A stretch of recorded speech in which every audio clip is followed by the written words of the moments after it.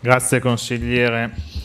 Ora ha chiesto la parola il capogruppo della lista Lega, Elena Raffaelli. 20 minuti.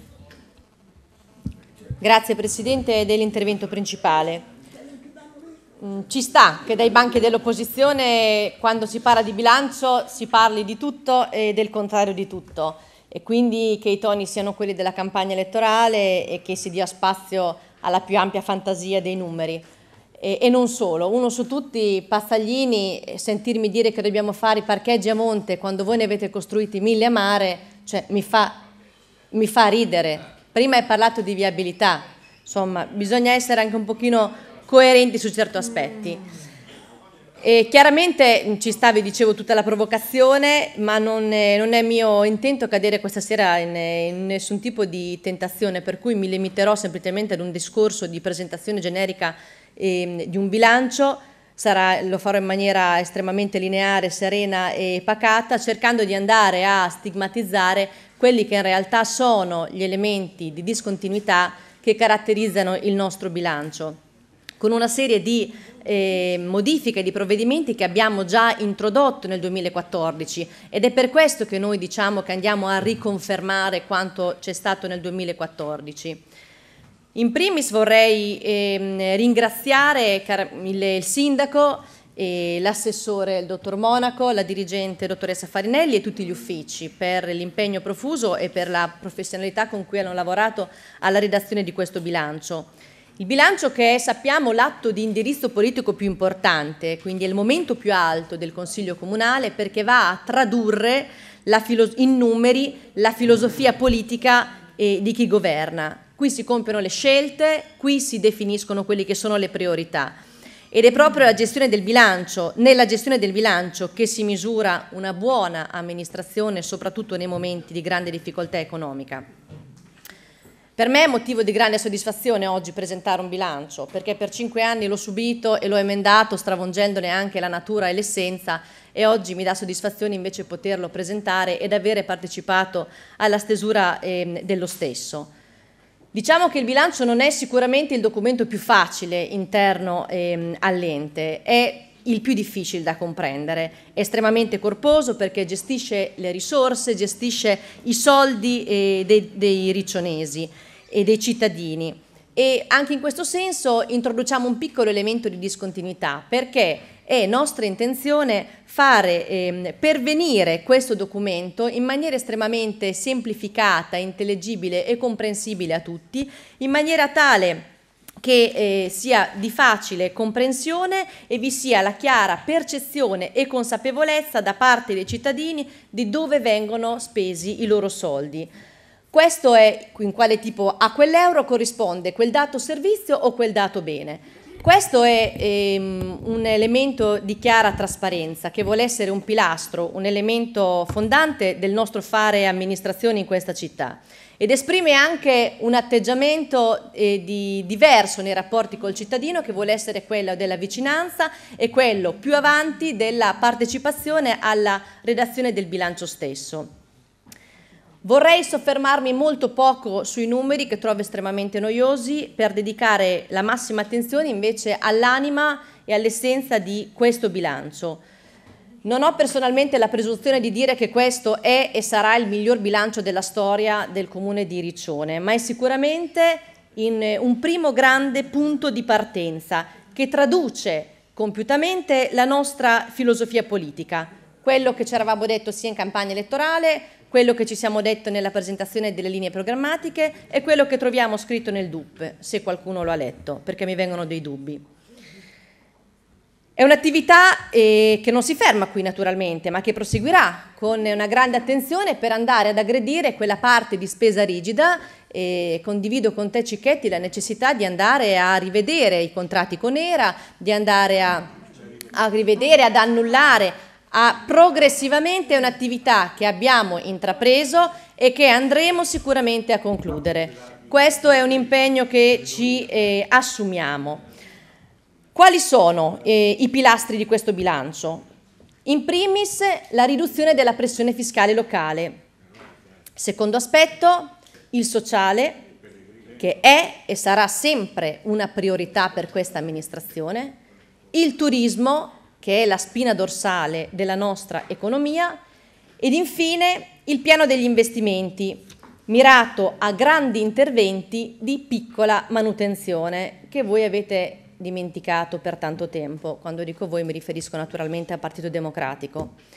Partiamo dalla riduzione della pressione fiscale, che muove da una concezione nuova e diversa della macchina comunale. La macchina comunale non è quella che deve produrre utili, ma eh, tutte le risorse che entrano e si producono all'interno della stessa devono essere finalizzate alla riduzione della pressione fiscale. E la pressione fiscale, la pressione tributaria del 2015, in previsione nel 2015, è riconfermata sui valori del 2014, quindi senza aumento della tassazione locale, nonostante chiaramente i tagli del, del governo rispetto ai quali non ci siamo pianti addosso, ma abbiamo reagito andando a mantenere quelli che erano gli obiettivi che questa amministrazione si era, ehm, si era data. Il bilancio 2014 lo abbiamo eh, modificato noi con una serie di provvedimenti, vi dicevo che andiamo a riconfermare. E quindi la Tasi, il gettito Tasi invariato sul 2014 con la riconferma dell'esenzione sulla prima casa, non mi stancherò mai di dirlo, la riduzione della tariffa dei nidi che rappresenta sicuramente la parte più gravosa in termini di, di tariffazione per le famiglie l'innalzamento della soglia dell'addizionale comunale IRPEF da 15.000 a 17.000 euro, un gettito invariato eh, dell'IMU rispetto al 2014, una Tari, come ricordava anche prima l'assessore, invariata sia per quanto riguarda le tariffe sia per quanto riguarda il piano finanziario, ma con due grandi obiettivi che abbiamo ottenuto e mantenuto. Il primo riguardano le agevolazioni ehm, date a tutte quelle concesse a tutte quelle attività che eh, traggono un danno dalla presenza del cantiere, in particolar modo del TRC, con eh, l'adozione di un regolamento che si potrà poi estendere anche in futuro per tutte quelle attività che saranno interessate per più di sei mesi dalla presenza di un cantiere per la realizzazione di opere pubbliche. E credo che questo non sia una, un intervento da poco, che è anche un chiaro indice della vicinanza, della consapevolezza che c'è da parte di questa amministrazione rispetto ai problemi della città e parallelamente una grande capacità di dare risposte immediate ai bisogni della gente. Credo che la nostra identità, contrariamente a quanto abbiate detto nei vostri interventi, sia estremamente chiara. Tornando al discorso della Tari, non posso non eh, citare la riduzione per tutte quelle attività che hanno una licenza annuale e che in realtà lavorano soltanto, ma lavorano soltanto per il periodo estivo, per, il, per, un, per la stagione, quali, per i quali è previsto uno sgravio del 20%. Questo io non lo ricordo venire dai banchi del, del PD. Mi pare buona, eh, un buon viatico anche, anche questo. Poi andiamo oltre. Il sociale. Quando sento dire che sul sociale ci abbiamo messo poco, mi cadono le braccia per non dire altro. Ci abbiamo messo 600 mila euro in più, perché il sociale è una grande priorità, lo è e lo rimarrà all'interno dei nostri bilanci. Vi ricordo la scelta politica di, eh, compiuta qualche mese fa di eh, far ritornare in capo all'ente due segmenti della delega ASLE, quelle che riguardano il, gli anziani e i disabili. Perché innanzitutto eh, l'ente nasce mh, per dare risposte a questo tipo di bisogni e in seconda battuta per un vero e proprio desiderio, per una vera e propria volontà di essere molto più presenti sia in termini di report che di controllo e per dare numeri veri alla città. Non ultimo, io ritengo personalmente che tra noi, quindi tra l'ente e il bisogno, meno filtri ci sono e meglio è. Vorrei ricordare anche un altro, un altro passaggio, un altro eh, numero, che è di 95.000 euro, che riguarda, che abbiamo messo noi come ente per sostenere ehm, a supporto dei disabili nelle scuole di secondo grado, importo che veniva stanziato fino al 2014 dalla provincia e nonostante vi sia eh, una dubbia competenza in merito, siccome noi siamo molto vicini al sociale, i soldi ce li abbiamo messi noi come comune. Quindi credo che andare ad affondare la lama nel sociale non sia proprio il, eh, il luogo giusto. Passiamo poi al, eh, al turismo. Il settore del turismo non ha subito tagli, come non li ha subiti quello del sociale, vi dicevo. Anzi, abbiamo aumentato un po', di un po' eh, gli stanziamenti perché noi riconosciamo veramente nel settore turistico la spina dorsale della nostra economia. Faremo davvero, Passaglini, eh, la promo commercializzazione, ma non come l'avete fatta voi per 70 anni. Cerchiamo di fare qualcosa di diverso, non dico di migliore, ma di diverso sicuramente. Promo, andremo a predisporre anche eh, del materiale video, del materiale cartaceo proprio finalizzato alla promozione perché abbiamo trovato veramente poca roba rimasta da voi. Il portale riccione.it di cui parlavi, realizzato in accordo con il privato, sarà uno strumento per andare a promuovere non solo gli eventi del comune, ma anche tutte le attività eh, commerciali, tutti i pubblici esercizi e sui quali sarà anche probabilmente possibile prenotare ehm, delle camere. Naturalmente il turismo si basa e si fonda su una grande eh, promozione ed organizzazione di eventi che vedono coinvolti, nel nostro caso, sempre molti settori congiuntamente, quindi lo sport, il turismo, la cultura e le attività economiche, cercando di creare le migliori e le più grandi opportunità per l'intero tessuto economico di questa città. Veniamo al quarto punto, che è quello relativo agli investimenti. Passaglini, noi facciamo manutenzione ordinaria perché voi per tanti anni non l'avete fatta, quindi qualcuno ci deve pensare. Voi avete pensato a fare le grandi opere, noi invece siamo poverini e pensiamo di mettere a posto le buche, le strade, i marciapiedi, le ciclabili, i soffitti che cadono, le palestre che fanno acqua da tutte le parti. Noi abbiamo pensato a questo, forse non, non sarà la scelta migliore, però a noi pare una priorità. Per ehm, come andiamo a finanziare gli investimenti? Chiaramente lo sappiamo, i mutui, gli oneri di urbanizzazione e le vendite. Per cinque anni io ho visto un piano delle valorizzazioni e delle alienazioni quasi sempre uguale a se stesso, se non che ogni tanto spuntava una bella scuola da poter vendere, perché voi siete maestri per vendere le scuole. Non possiamo naturalmente dimenticare quella, eh, la vendita delle Manfroni, dove ora sorgono otto piani di residenziale, vuoti peraltro, e quindi non paghi di quella dismissione, avete ben pensato di andare a vendere anche un'altra scuola, perché eh, come centro di aggregazione forse per quel quartiere a voi sembrava troppo. Noi abbiamo in, in mente eh, un principio molto chiaro. Le scuole non si vendono, sono luoghi di aggregazione e di interesse che noi vogliamo, sottolineo vogliamo, mantenere in seno al nostro patrimonio. Abbiamo invece fatto qualcosa di nuovo e questa è anche un'altra prova di discontinuità, nell'andare ad aggiornare un inventario dei beni per capire quali siano realmente strumentali all'ente e quali invece non lo siano più. Ed è di molto cambiata anche la tipologia. Vi ricordo l'introduzione della vendita della palazzina della CGL, un appartamento sito in Viale Dias di circa 37 metri quadri, due lotti in Viale Veneto di circa 540 metri quadri che si trovano più o meno all'altezza dopo il, il cavalcavia. Credo quindi che le innovazioni ci siano, l'attenzione sia massima nella ricerca, in una ricerca che non è mai stata compiuta in maniera così precisa come abbiamo fatto quest'anno. E vorrei fare a questo proposito anche chiarezza sulla questione dell'immobile della CGL, che sapete tutti essere collocato in Viale Ceccarini eh, Alta, per il quale questo ente, per un edificio di tre piani, percepisce 14.000 euro di affitto.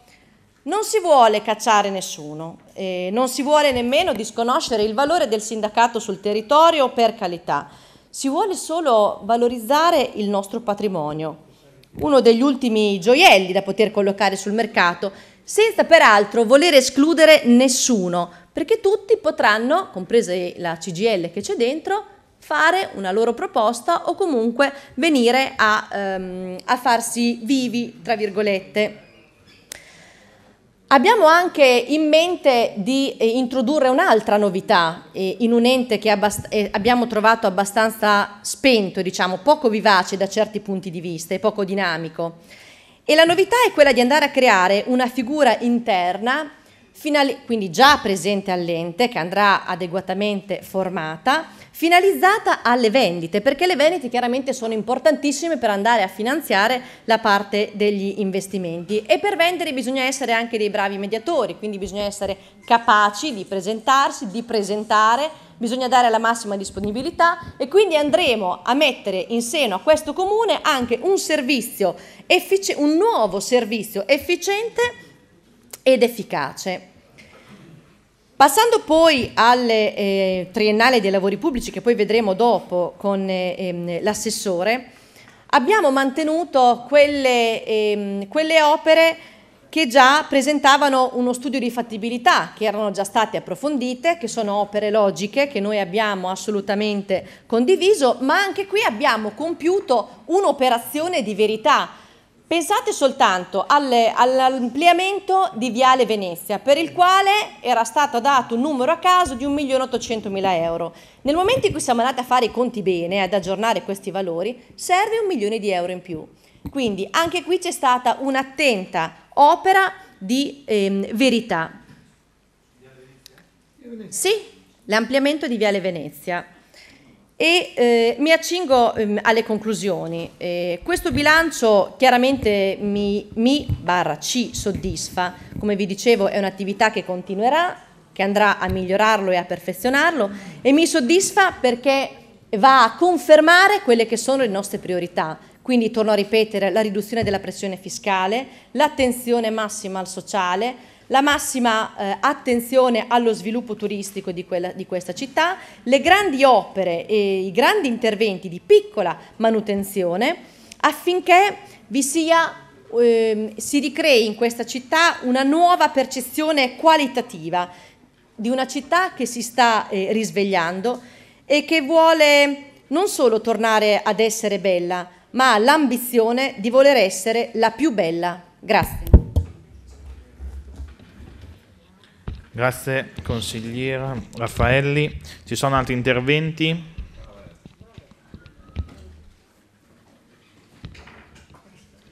Se non ci sono altri interventi c'è la replica finale del sindaco e dell'assessore.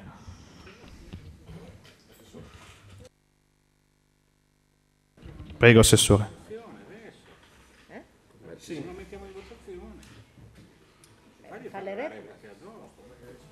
Volevo ringraziare intanto i consiglieri sia di maggioranza che opposizione per gli spunti eh, che sono pervenuti questa sera in aula. Eh, ringrazio in particolar modo logicamente i miei consiglieri di maggioranza perché insieme a me hanno condiviso, insieme a noi hanno condiviso il percorso di formazione di questo bilancio, insieme a noi sono stati frutto di stimolazione di quelle che erano le sollecitazioni pervenute dalla città, raccogliendo all'interno dei vari quartieri, delle, fino alla via, all'interno dei bar, le richieste, i desiderate dei cittadini, che noi abbiamo cercato in qualche modo di, eh, di esaudire. Nella, nel mio intervento iniziale avevo parlato di un bilancio con un'identità precisa, immaginavo che la, la scarsità comunque di emendamenti andasse in quella direzione, cioè nel dire avete copiato il compito. Su questo mi sento eh, sinceramente di non, non, poter condividere logicamente l'affermazione che ha fatto il PD o comunque in parte è stata valorata da, dai 5 Stelle. Dov'è la differenza fondamentale? Eh, l'ha detta mi sembra prima la consigliera Raffaelli, noi abbiamo avuto tagli, comunque minori entrate e maggiori spese per 4 milioni, non ci siamo pianti addosso Abbiamo a suon di 10.000 euro, come dice il consigliere Cicchetti, va bene, a suon di 10.000 euro abbiamo recuperato quei 4 milioni. L'anno scorso quei 4 milioni sono stati recuperati introducendo 3 milioni di tasi, che noi abbiamo ridotto a 2. Quindi qui già c'è una prima sostanziale spallata rispetto al passato. È chiaro che eh, è da scellerati stravolgere un bilancio da un anno all'altro, cioè, bisognerebbe davvero essere degli responsabili. Il cambiamento va fatto, sarà costante eh, e non, non si fermerà per tutto l'arco del mandato. Aggredire i contratti di ERA, rifiuti, ERA, luce e lo stesso eh, rinegoziazione fatta con GIAT sono procedure che non è che in dieci mesi si riesce a fare, non vogliamo prendere la scusante del tempo, eh, sono colossi che quando si siedono al tavolo, come dice eh, il consigliere Cicchetti, sorridono, ma noi l'impegno lo mettiamo lo stesso, noi non ci fermano le, le, le loro risatine. Forlì e Cesena stanno tracciando un solco che stiamo seguendo molto, con molto interesse con eh, l'assessore Vicarelli, se volete dopo vi può illustrare la posizione. Contratto di Eraluce abbiamo già cominciato, che è quello che eh, Pazzaglini si aspettava, Pazzaglini se non sbaglio ha detto te che dovevamo smettere con i rifiuti, aggredire di più il contratto rifiuti, ma io ho parlato dell'aggressione al contratto di Eraluce, quindi illuminazione pubblica. C'è una norma che ci dice che eh, laddove le condizioni eh, praticate mediamente sul MEPA siano più favorevoli rispetto a quelle praticate dai contratti in essere, si può uscire. E stiamo, oh, siamo dietro le verifiche tecniche e poi procederemo. Con GIAT eh, avete parlato di una riduzione del servizio, ma GIAT ha lavorato con noi su, sul nostro e sul loro bilancio. GIAT è il nostro braccio armato questo milione che gli abbiamo chiesto, come avete sentito da Cicchetti, il 18% è il loro margine, certamente il 22% è mediamente l'IVA, il resto è efficientamento. GIAT ha professionalità, competenze e capacità per reggere questo impatto. Ci sono persone valide, persone che sanno fare bene il loro lavoro e persone sulle quali contiamo molto. Per quello che riguarda il, il discorso dell'innalzamento del debito, chiaramente sì, di questo passo andiamo a fare 5 milioni di euro di debiti all'anno, ma ne stiamo anche estinguendo 5, mil, oh, 5 milioni e 2, 5 milioni e 3 all'anno, quindi il differenziale è sempre positivo per noi, cioè lo stock di debito continua a calare, non con la stessa velocità di prima chiaramente, i miei figli probabilmente, come disse Cicchetti, avranno ancora qualche debito da pagare. Spero sicuramente, spero mi impegno perché eh, da buon padre di famiglia tra cinque anni di avergli lasciato meno di 78 milioni di euro di quando sono entrato io, quindi stiamo lavorando in quella direzione.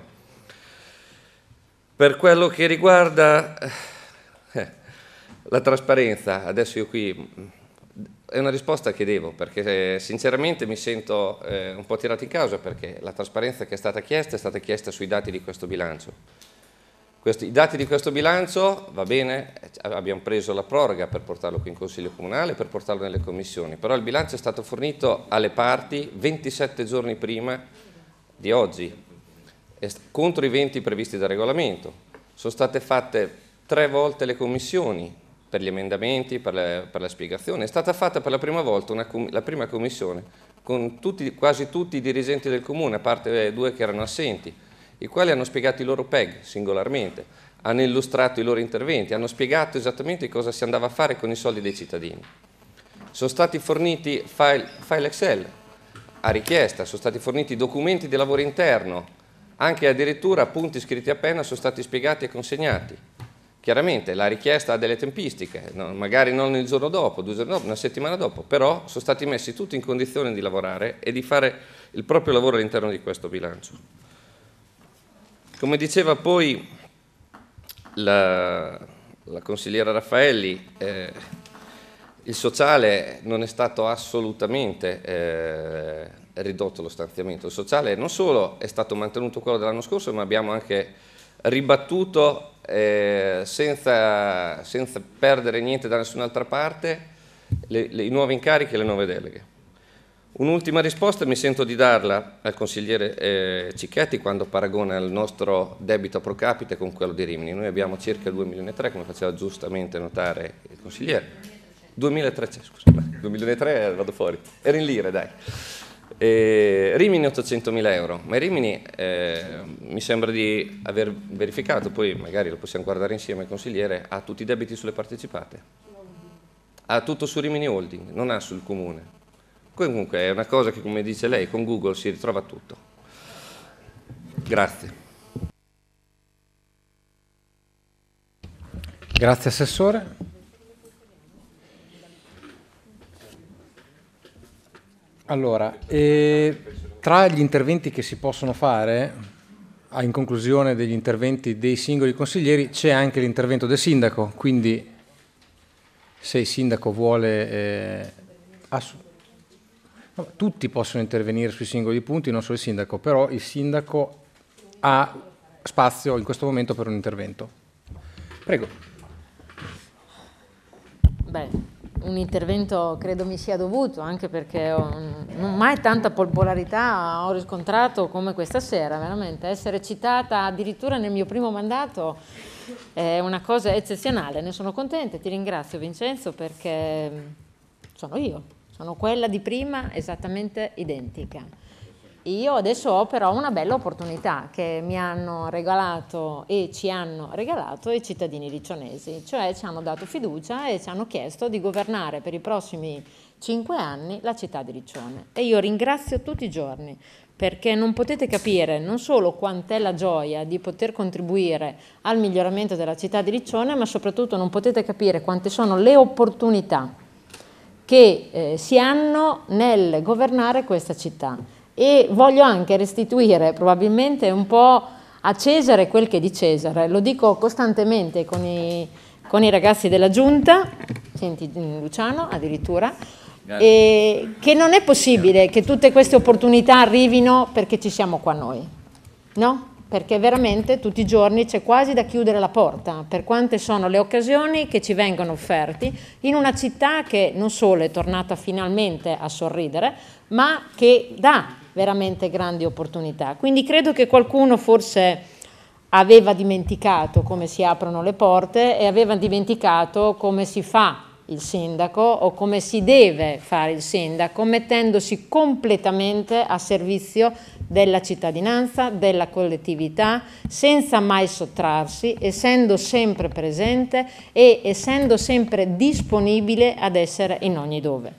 Noi credo cercheremo di non perdere nessuna occasione e credo che in questi pochi mesi nei quali siamo per fortuna al governo della città siamo stati in grado, e credo sia sotto gli occhi di tutti in maniera molto oggettiva, di regalare, restituire a questa città semplicemente ciò che merita, perché voglio in questo caso veramente togliermi molto del, dei ringraziamenti che ahimè rivolgono a me perché giustamente sono il primo cittadino e voglio restituirli invece a quelli che giustamente li devono avere. Il lavoro della Giunta è costante, continuo e non veramente senza mai fine, però Credetemi, la maggior parte delle cose che finalmente si stanno realizzando in città, e parlo delle piccole e grandi cose, sono grazie ai riccionesi.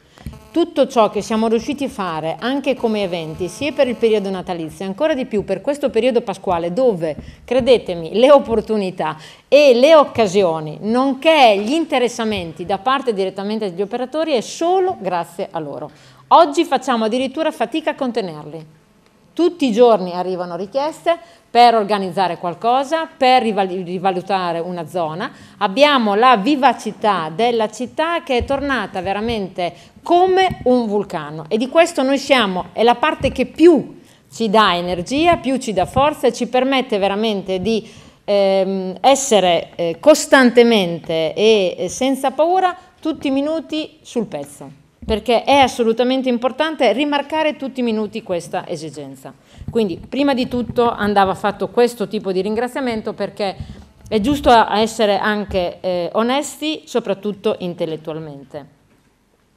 Su questo e proprio sulla base di quest'ultima affermazione io questa sera ehm, ho sentito interventi che eh, effettivamente ha già per fortuna in gran parte stigmatizzato i, miei, i nostri consiglieri di maggioranza, ma eh, in modo particolare nell'ultimo intervento di Elena, ma che veramente lasciano eh, a bocca aperta, perché eh, noi abbiamo fatto una politica sul bilancio veramente differente rispetto al bilancio mh, che abbiamo ereditato. Probabilmente non tutta compiutamente si vede, ma per fortuna saremmo mandrache. Siamo qui, vi vorrei ricordare, da dieci mesi, no? non è che abbiamo la incapacità di poter trasformare un bilancio a nostra immagine e somiglianza in un primo mandato, però credo che i primi passi si siano notati e veramente in maniera determinante. Vogliamo dirne una? Eh, si parlava poc'anzi del boulevard, dei paesaggi, sempre contestato da noi quando eravamo in opposizione e immediatamente eliminato come veramente non una priorità, mettiamola così, nell'ambito del triennale. Ma quello che era grave del boulevard dei paesaggi, per i quali eh, tutti no, stigmatizzavano questa corona verde che doveva essere realizzata nella città con la modica cifra di 5-6 milioni di euro, erano, sapete cosa? I 350 mila euro invece che i riccionesi hanno pagato per la consulenza. E credo che un consulente interno per realizzare un boulevard del paesaggi forse c'era. Ecco, forse un geologo nella, nel, nostro, eh, nel nostro organigramma non c'è e non è necessario andare a cercare un geologo per fare il dirigente perché fare il dirigente è una cosa e fare il geologo è un'altra, mentre sicuramente un architetto capace di poter disegnare una corona di verde poteva essere sicuramente trovata. Così come mi pare necessario stigmatizzare anche il fatto che è bellissimo, eh, eliminare le macchine sopra la ferrovia. No? Questa è stata No, eliminare, scusa, le, le, macchine è stato proprio così. La frase che i due hai detto è stata eliminare le macchine in superficie allora? No, no, no. no. Sotto la ferrovia hai detto. Qui da noi è arrivato sotto la ferrovia, però se è in superficie vorrei ricordare che avete realizzato mille parcheggi nei lungomari e eh, credo che forse qualche macchina bisognerà farla rivale, anche perché il, il, lungomare, vorrei ricordarlo, eh, abbiamo eh, noi ereditato, con grande senso di responsabilità lo stiamo affrontando, senza negare assolutamente nessun minuto alla questione, ma avete potuto leggere dalla stampa quei contratti che il PD siglò relativamente alla realizzazione dei lungomari oggi tornano al pettine e per entrambi, sia il lungomare 2 che il piazzale San Martino, la richiesta complessiva di danni è di 40 milioni di euro. Questa se si chiama gestione oculata delle risorse pubbliche e del patrimonio pubblico, io ho qualche dubbio in merito. Parlando invece di trasparenza, perché è una cosa che ho sempre sottolineato ed è una cosa che regalerò sempre, Infatti per quanto riguarda il piano delle razionalizzazione, voi sapete quanto io sia ligia al rispetto delle norme, il piano delle razionalizzazione delle società partecipate doveva, ed è stato fatto, con un atto sindacale. Stranamente eh, qualcuno crede che un atto sindacale non sia sufficientemente trasparente, peccato che sia pubblicato, come qualsiasi atto del sindaco, sul sito del comune. Quindi più trasparente di così non si può. Se poi vuoi disquisire con l'amministrazione se la scelta di una partecipata era giusta rispetto ad un'altra, possiamo disquisirne quanto vuoi. L'amministrazione ha fatto la scelta di, eh, di uscire da società come Itinera, che credo non si sappia neanche di che fa nella vita, Unirimini, altrettanto società che ha gestito per tanti, e gestisce forse, l'università e che non ha mai avuto una ricaduta nel comune di Riccione. Mai, non c'è stata mai un'attività dell'università sul comune di Riccione. Abbiamo poi deciso di uscire da Apea L'ho detto credo 500 volte da quando sono diventata sindaco e lo riaffermo e l'ho anche scritto, l'abbiamo anche deciso assieme. Usciamo da APEA perché APEA è una società inutile che appartiene ad un altro momento storico, non ha prodotto nulla in questi anni se non tanti bei compensi agli amici. Punto. È una società che non ha dipendenti, è una società che dovrebbe chiudere, qualcuno ha già paventato nell'ambito della propria razionalizzazione delle partecipate, anche di poterla mantenere mandando qualcuno in comando, inventandosi delle norme, capite? Io questa cosa non la faccio e non la farò mai. Quella società non ha dipendenti e secondo la legge della razionalizzazione delle partecipate, secondo la legge dello studio Cottarelli, la, il numero degli amministratori di una società deve essere inferiore ai numeri dei propri dipendenti. Peccato vederla che non ne abbia zero zero dipendenti, ci è costata però parecchi soldi in questi anni, circa 500 mila euro, e credo che vada immediatamente sciolta. Però qualcuno, nello specifico uno degli altri due soci, si sta inventando addirittura il comando dalla propria amministrazione per farla mantenere in vita. Questa si chiama razionalizzazione delle partecipate, questa si chiama ottimizzazione delle risorse? Certo che no. Abbiamo poi deciso di uscire anche dalle farmacie comunali. Mi sembra un'ottima idea perché le farmacie comunali non distribuiscono utili nella misura adeguata, in quanto il proprietario, l'altro proprietario accanto a noi ha oltre che l'80% del capitale sociale, ha quindi interesse a patrimonializzarla e non certamente a ripartire utili. Noi andremo a discutere e cercheremo in tutti i modi, senza finte pratiche, ricordo il bando per la vendita delle azioni a favore dei dipendenti che fu una bufala, e senza finte, come dicevo, privatizzazione, invece andremo tranquillamente a chiederne di uscirne cedendo comunque sperando insomma di trovare un acquirente a questo pro perché penso che da queste che non sono attività che l'ente pubblico deve fare, potremo trovare invece quelle risorse che ci sono utili, molto utili, per mettere in campo tutti quegli investimenti che abbiamo scelto di fare e che si spostano fondamentalmente, e ne siamo orgogliosi della scelta, nella manutenzione di piccola entità. Noi vogliamo andare a regalare a questa città decoro. Non è più possibile passare per le strade e vedere più buche che asfalto.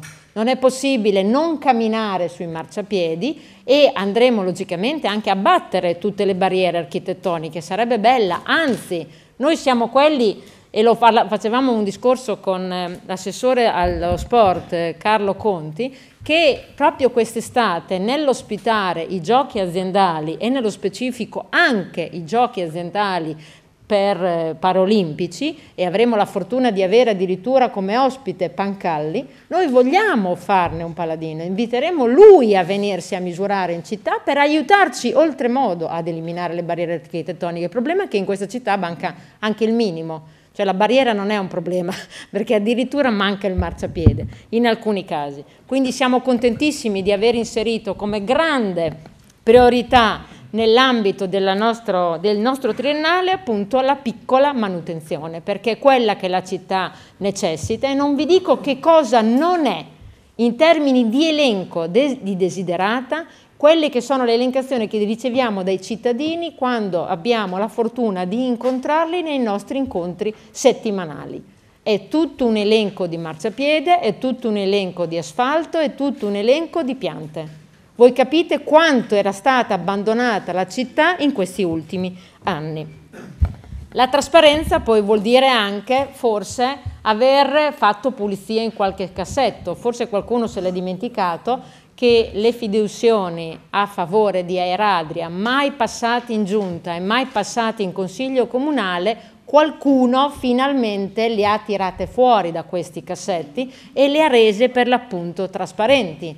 Vogliamo ricordare le due cause che noi ci siamo trovati perse nell'ambito del Palace e che invece però saranno da noi rimarcate fino alla ricerca di qualcuno che nell'ambito dell'amministrazione di quella società ha firmato atti arrecando un importantissimo danno al comune di Riccione.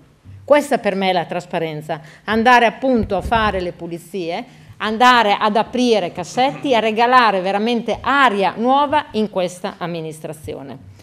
Per quanto riguarda poi ehm, un piccolo accenno a quella che era la valorizzazione dei beni del, dell'amministrazione. Quando siamo arrivati abbiamo preso logicamente, come fare, avrebbe fatto sicuramente chiunque di voi, l'inventario e stranamente lo abbiamo trovato leggermente carente e quindi abbiamo pensato immediatamente di aggiornarlo. Le novità sono venute fuori, per fortuna anche positive, abbiamo rintracciato due bei lotti da mettere in vendita in via Piemonte, un bel appartamento in via, via Veneto, scusate, un bel appartamento in via Diaz, ho anche l'intenzione, abbiamo anche l'intenzione di mettere in vendita comunque i lotti di via Piemonte, abbiamo un piccolo contenzioso Piemonte questi sì, non li, inseriti, non li abbiamo ancora inseriti nel piano delle valorizzazioni perché c'è qualche contenzioso in essere, giusto per gradire, ma so, subito dopo la transazione che speriamo di concludere le metteremo in vendita. Dicevo che abbiamo trovato per fortuna qualche bene che forse può avere un'appetibilità, ma soprattutto ci siamo regalati il lusso di togliere finalmente alcuni beni che sono scandalosi e averli visti nella valorizzazione, come le scuole, e invece abbiamo inserito la CGL. La CGL è un importantissimo immobile di questa città e va valorizzato perché la legge ci dice che dovremo mettere in vendita tutto ciò che non è strettamente funzionale all'esercizio dell'ente e credo che il servizio della CGL, che è un servizio importantissimo, possa essere tranquillamente esercitato in qualsiasi altro bene, anche privato. Abbiamo avuto la fortuna, io e Roberto, di incontrare la rappresentanza della CGL, abbiamo con loro disquisito in merito, gli abbiamo offerto anche altri beni che sono pubblici e loro ci hanno candidamente, serenamente dichiarato che vogliono stare a Riccione, che staranno a Riccione e che hanno già tre trattative con i privati. Non è scandaloso, forse se qualcuno qualche anno fa quando il mercato era un mercato vivace ed era un mercato che accettava quel tipo di immobile, lo avesse messo seriamente in vendita, forse questa amministrazione avrebbe avuto più risorse e meno debiti. Noi comunque lo faremo perché quello è un immobile importante, Abbiamo concesso loro, se è necessario, anche un piccolo margine per il trasloco, comunque al primo gennaio del 2016 l'immobile sarà libero. Abbiamo deciso di metterlo in vendita nel 2016 perché crediamo che il miglior risultato si possa ottenere senza alcun diritto di prelazione e così faremo, cercando in maniera puntuale e precisa anche di poterli fare visitare gli immobili. Vi sembrerà strano? Ma in questa amministrazione, prima che noi avessimo deciso di formare una persona in merito, nessuno aveva le chiavi o poteva o aveva voglia o voleva andare a far vedere un parcheggio o non voleva andare a fare vedere un immobile. Mentre noi abbiamo ritenuto necessario e importante quando si tratta di fare una vendita essere disponibili per far vedere gli immobili, per fare vedere la loro localizzazione e il loro stato, nonché poter far capire anche a chi viene dal privato, chi viene dall'esterno ed è interessato all'acquisto di un immobile, che cosa di quell'immobile si può fare, dove si può eventualmente trasformare, come si può intervenire. Credo che questa sia un'attività giusta e corretta nell'ambito di un ente che ha come finalità quello di vendere tutto ciò che non è necessario appunto per fare ente pubblico al fine di evitare in tutti i modi di ulteriormente indebitarci, perché questa è la seconda finalità. Noi abbiamo inserito sì 5 milioni e 98 mila euro di mutui, ma non significa che andremo a siglarli e andremo a stipularli completamente, perché anche l'anno scorso, se non erro, ci sono stati da parte dell'amministrazione deliberati la possibilità di stipulare 2 milioni di euro, ma che abbiamo chiuso in uno e mezzo. Quindi siamo attenti, precisi puntuali perché non ci è mai piaciuto e non ci piacerà mai continuare ad indebitare un ente pubblico perché vuol dire continuare ad indebitare una città e i suoi cittadini. Per quanto riguarda il piano delle valorizzazioni, dicevo, come avevo detto nel 2000 e 5 forse nel 2009, ma sono stata tanti anni in consiglio comunale che forse non l'ho detto talmente tante di quelle volte che è da, è stancarsi in questa sala. Comunque le, molti degli immobili anche inseriti da noi nelle valorizzazioni non hanno una perizia compiuta e in modo particolare mi riferisco alla Bertazzoni. È stata una scelta, una scelta precisa perché eh, è cambiato un po' il mondo, nel senso che noi abbiamo avuto la fortuna di ricevere dal demanio alcune parti di eh, patrimonio precedentemente demaniale che oggi è diventato patrimonio comunale che abbiamo desiderio di accorpare alla Bertazzoni per fare della stessa un vero e appetibile immobile in vendita. E nello specifico mi riferisco al piazzale lato Riccione nonché abbiamo anche riscontrato per fortuna nostra che la Bertazzoni ha anche una bella spiaggia quindi avremmo il desiderio rispetto alla perizia che abbiamo in, eh, in bozza nell'amministrazione di andare ad accorpare anche la spiaggia perché capite che cosa diventa l'appetibilità di un immobile come la Bertazzoni che ha la capacità di diventare un albergo, di essere demolita e ricostruita, avere dalla sua anche una spiaggia privata. Noi abbiamo interesse a che gli immobili vengano valorizzati al meglio perché è la cosa più importante per la città. Mi scade il tempo, ma una cosa la volevo dire, quindi per quanto riguarda gli investimenti e per quanto riguarda la scelta della parte straordinaria, l'avete credo di averla bene illustrato, ma eventualmente avremo modo poi successivamente nella disquisizione singoli, delle singole pratiche anche di rimarcarla. Quello che volevo invece stigmatizzare nella parte ordinaria del bilancio, che è la parte più corposa, è che il nostro lavoro è solo all'inizio. È un lavoro che sarà costante e puntuale e preciso che ho chiesto sia agli assessori nei singoli PEG sia ai singoli consiglieri, perché noi dovremo sempre di più aggredire quello che per fortuna siamo riusciti già ad aggredire nella parte ordinaria, riassorbendo completamente la parte delle mancate entrate e eh, tagli dallo Stato, ma non è sufficiente, lo so, grazie Vincenzo per avermelo ricordato, è un passo solo in avanti, ma è un passo di inizio che noi continueremo a fare perché la parte che ci interessa di più è permettere di rispondere sempre più puntualmente ai bisogni della città e chiedere sempre di meno ai nostri cittadini. Grazie Sindaco, grazie. Grazie. Allora, riprendiamo a questo punto l'ordine dei lavori come da ordine del giorno con eh, il punto numero 3, il comma 3 dell'ordine del giorno, che è il piano triennale 2015-2017 delle alienazioni e delle valorizzazioni del patrimonio del patrimonio immobiliare scusate, del Comune di Riccione, come d'articolo 58 della legge 133 2008 e successive modifiche e integrazioni. Proponente è l'assessore al bilancio Roberto Monaco. No, Cesarini. Alienazioni e valorizzazioni. Mm. Se ha qualcosa da dire, comunque la, la delibera non è stata messa in votazione. No, però era nella relazione. Sì, tutto nella. No, no, faccio presente che tutte le pratiche che seguiranno da qui in avanti sono state trattate nell'ambito generale del bilancio. Adesso andiamo avanti delibera per delibera, quindi se l'assessore o chiunque, o chiunque dei gruppi voglia intervenire può comunque farlo come in una qualunque delibera. Ovviamente le delibere che eh, hanno degli emendamenti per le quali sono stati presentati emendamenti verranno votate con le usuali modalità, quindi prima l'emendamento e poi la delibera, come al solito, procediamo come al solito. Siamo al piano delle alienazioni e valorizzazioni, se qualcuno vuole intervenire su questo punto può farlo, diversamente andiamo direttamente a votare, perché non ci sono emendamenti su questa pratica. Se l'assessore non ha nulla da aggiungere, ha chiesto la parola al consigliere Casadei. Prego. Buonasera, grazie Presidente, buonasera a tutti gli intervenuti. Io colgo l'invito e penso al senso di una, di una, sana e giusta opposizione che spesso tu, Lele, ci inviti a essere e a fare, dando, cercando di dare quelli che sono, secondo me, secondo noi, come Partito Democratico, degli spunti, ma soprattutto degli elementi che abbiamo trovato un po' discordanti all'interno di questa proposta di delibera.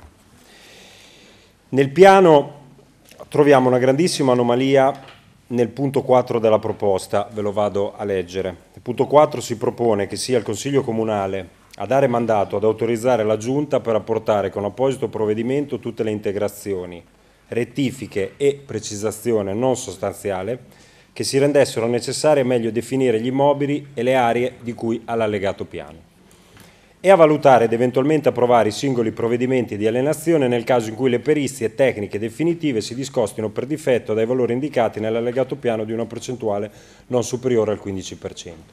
Tradotto con il voto del Consiglio Comunale si fa in modo che in giunta passino queste pratiche senza poi tornare con questi chiaramente, chiaramente elementi che appunto ho letto, passino senza poi tornare all'interno del Consiglio ed essere sottoposti giustamente a, a discussione di maggioranza positiva.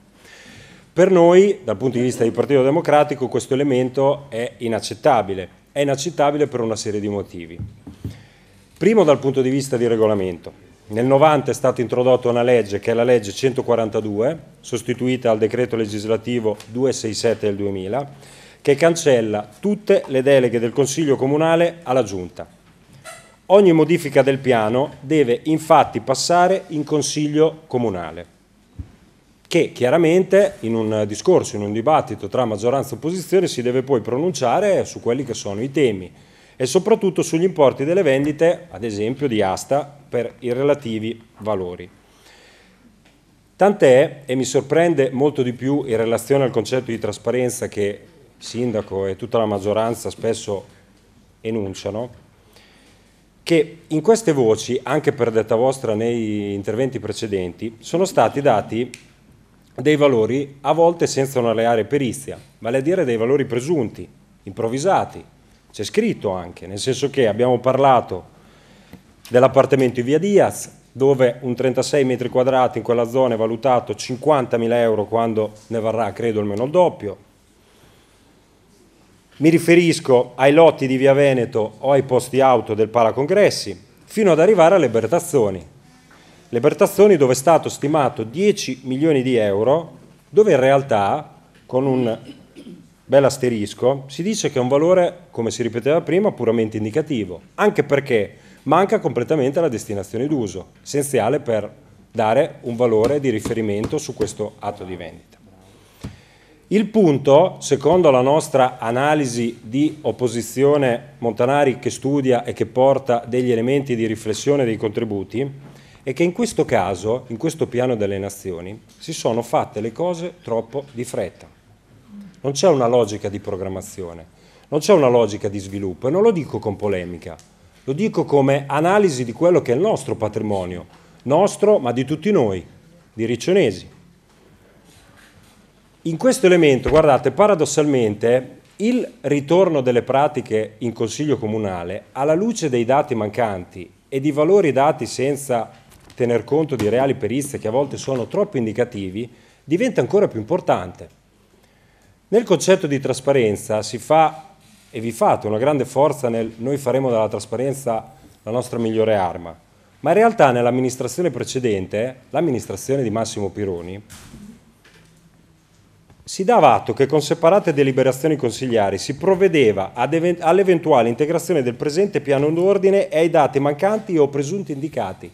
Cioè quando c'era una variazione si tornava qui, si parlava, maggioranza e opposizione, si discuteva e da lì si prendeva una decisione. Qui il processo è un altro. Si chiede con questa proposta di dare mandato esclusivamente alla Giunta di farlo e lo dico nell'interesse nostro di opposizione e vostro di consiglieri di maggioranza, di sapere quello che si va a identificare e quello di cui si va a parlare.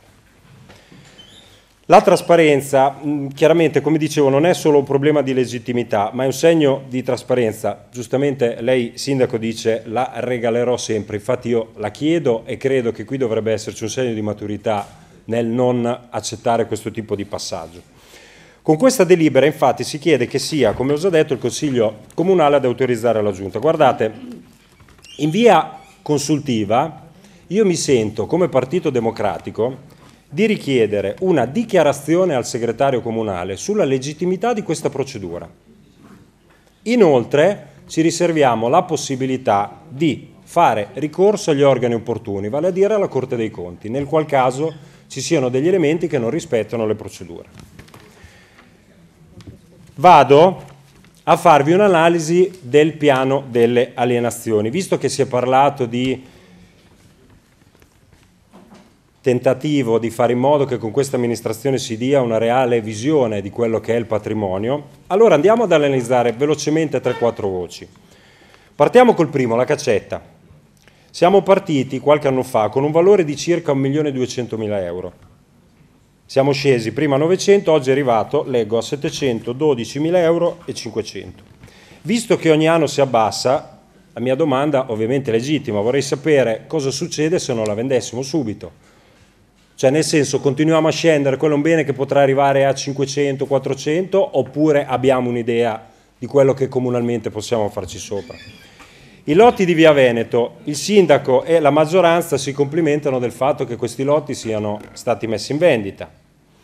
Nella passata legislatura c'era, io l'ho detto anche in commissione, su questi lotti c'era un progetto, comunque un tentativo Adesso lo definisco di autocostruzione, ma dopo mi riallaccio su un concetto che il sindaco sa molto meglio, nel quale si dava la possibilità di avere un terreno a un costo inferiore e lo si dava per le nostre famiglie in difficoltà. Visto che si sottolinea l'aspetto sociale del fatto che la città di Riccione non deve perdere, l'elemento, lo spunto di riflessione che vi porto è questo, nel senso che saremo pronti noi oggi a fare in modo che in quei lotti con un prezzo diverso, quindi che non è questo riportato sul piano di alienazioni, ci sia la possibilità di darlo alle famiglie che non hanno difficoltà, ma che si impegnano a costruirci sopra con un valore chiaramente inferiore, ma dando la possibilità è il nostro contributo come comune.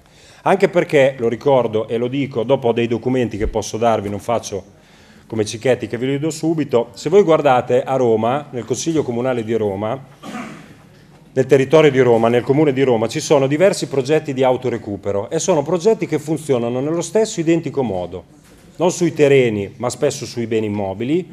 Il comune cede questi beni a prezzo favorevole per quanto riguarda ovviamente gli abitanti della città e lo fa perché gli abitanti si impegnino a fare in modo di recuperarli per viverci, chiaramente con una graduatoria per tutte quelle persone che ovviamente hanno una grande difficoltà. Lo stesso sindaco, lei Tosi, parlava, io ho preso la trascrizione degli interventi dell'anno 2014 sul bilancio e lei ha, guardi, non, non l'avevo neanche letto che l'aveva fatto prima di me, ma è ovvio. È esatto, no, no, ma guardi, nel senso che io ho visto e abbiamo reputato come Partito Democratico questa necessità nel territorio. Lei in quel momento, vale a dire l'anno scorso, parlava di housing sociale la dismissione del terreno riferito al concetto del terreno di Misano. Voi sapete che in questo concetto di alienazioni c'è un'area in comune di Misano Adriatico dove un valore iniziale era di 2.460.000 e oggi è riportato a un milione, quindi il valore è sceso di un, di, ehm, del 60%. Io in commissione giustamente ho chiesto come mai, mi è, mi è stato detto che è stata data una valutazione del comune. Bene, quindi questi lotti queste aree capisco che si vogliono mettere in vendita, però in realtà lei sindaco nel 2014 diceva L'esempio è la dismissione del terreno di Misano. Noi abbiamo un bel e importante terreno a Misano, il quale ha anche una sua capacità edificatoria e logicamente la prima cosa che mi viene in mente di fare, che vi viene in mente di fare, è venderlo, riferito agli allora consiglieri di maggioranza del PD. Perché no? Perché non fare immediatamente cassa? Perché voi, perché per voi le parole housing sociale che è un progetto simile a quello che vi dicevo, quindi la possibilità che si dà a prezzi calmierati o più bassi alle famiglie in difficoltà. Per voi l'housing sociale è assolutamente turco, cioè pensare veramente di andare a rispondere a quei riccionesi, giovani soprattutto, che condivido, sindaco tra l'altro, che se ne sono andati dalla nostra realtà perché non permettete assolutamente a un giovane di rimanere. In questi ultimi dieci anni avete dato Concludiamo, consigliere. In alcun modo risposto al bisogno abitativo della città di Riccione. La visione è un po' questa, nel senso che io mi aspettavo, e lo, lo, lo, ridico come spunto di riflessione, mi aspettavo che ci fosse una visione in questo bilancio, in questo elemento legato appunto alle nazioni diversa, non puramente dedicata alla vendita, ma con intelligenza. La Bertazzoni ne è un altro esempio. Qui si parla di 10 milioni, che è un valore indicativo come è stato scritto, ma manca la destinazione d'uso. Non c'è un dettaglio sul progetto delle terme, non sappiamo quando partirà, non c'è un dettaglio nelle alienazioni. Nel triennale non è presente, tranne ovviamente le alienazioni della Bertazione. Abbiamo detto più volte che il progetto delle terme è importante, adesso si dice che le Bertazioni insieme alla, spia- insieme alla spiaggia verrà venduta, ma quanti soldi chiediamo? Cioè, noi abbiamo dei soldi fermi per dei valori e dei beni che non sono in vendita per il mercato. Grazie. Grazie.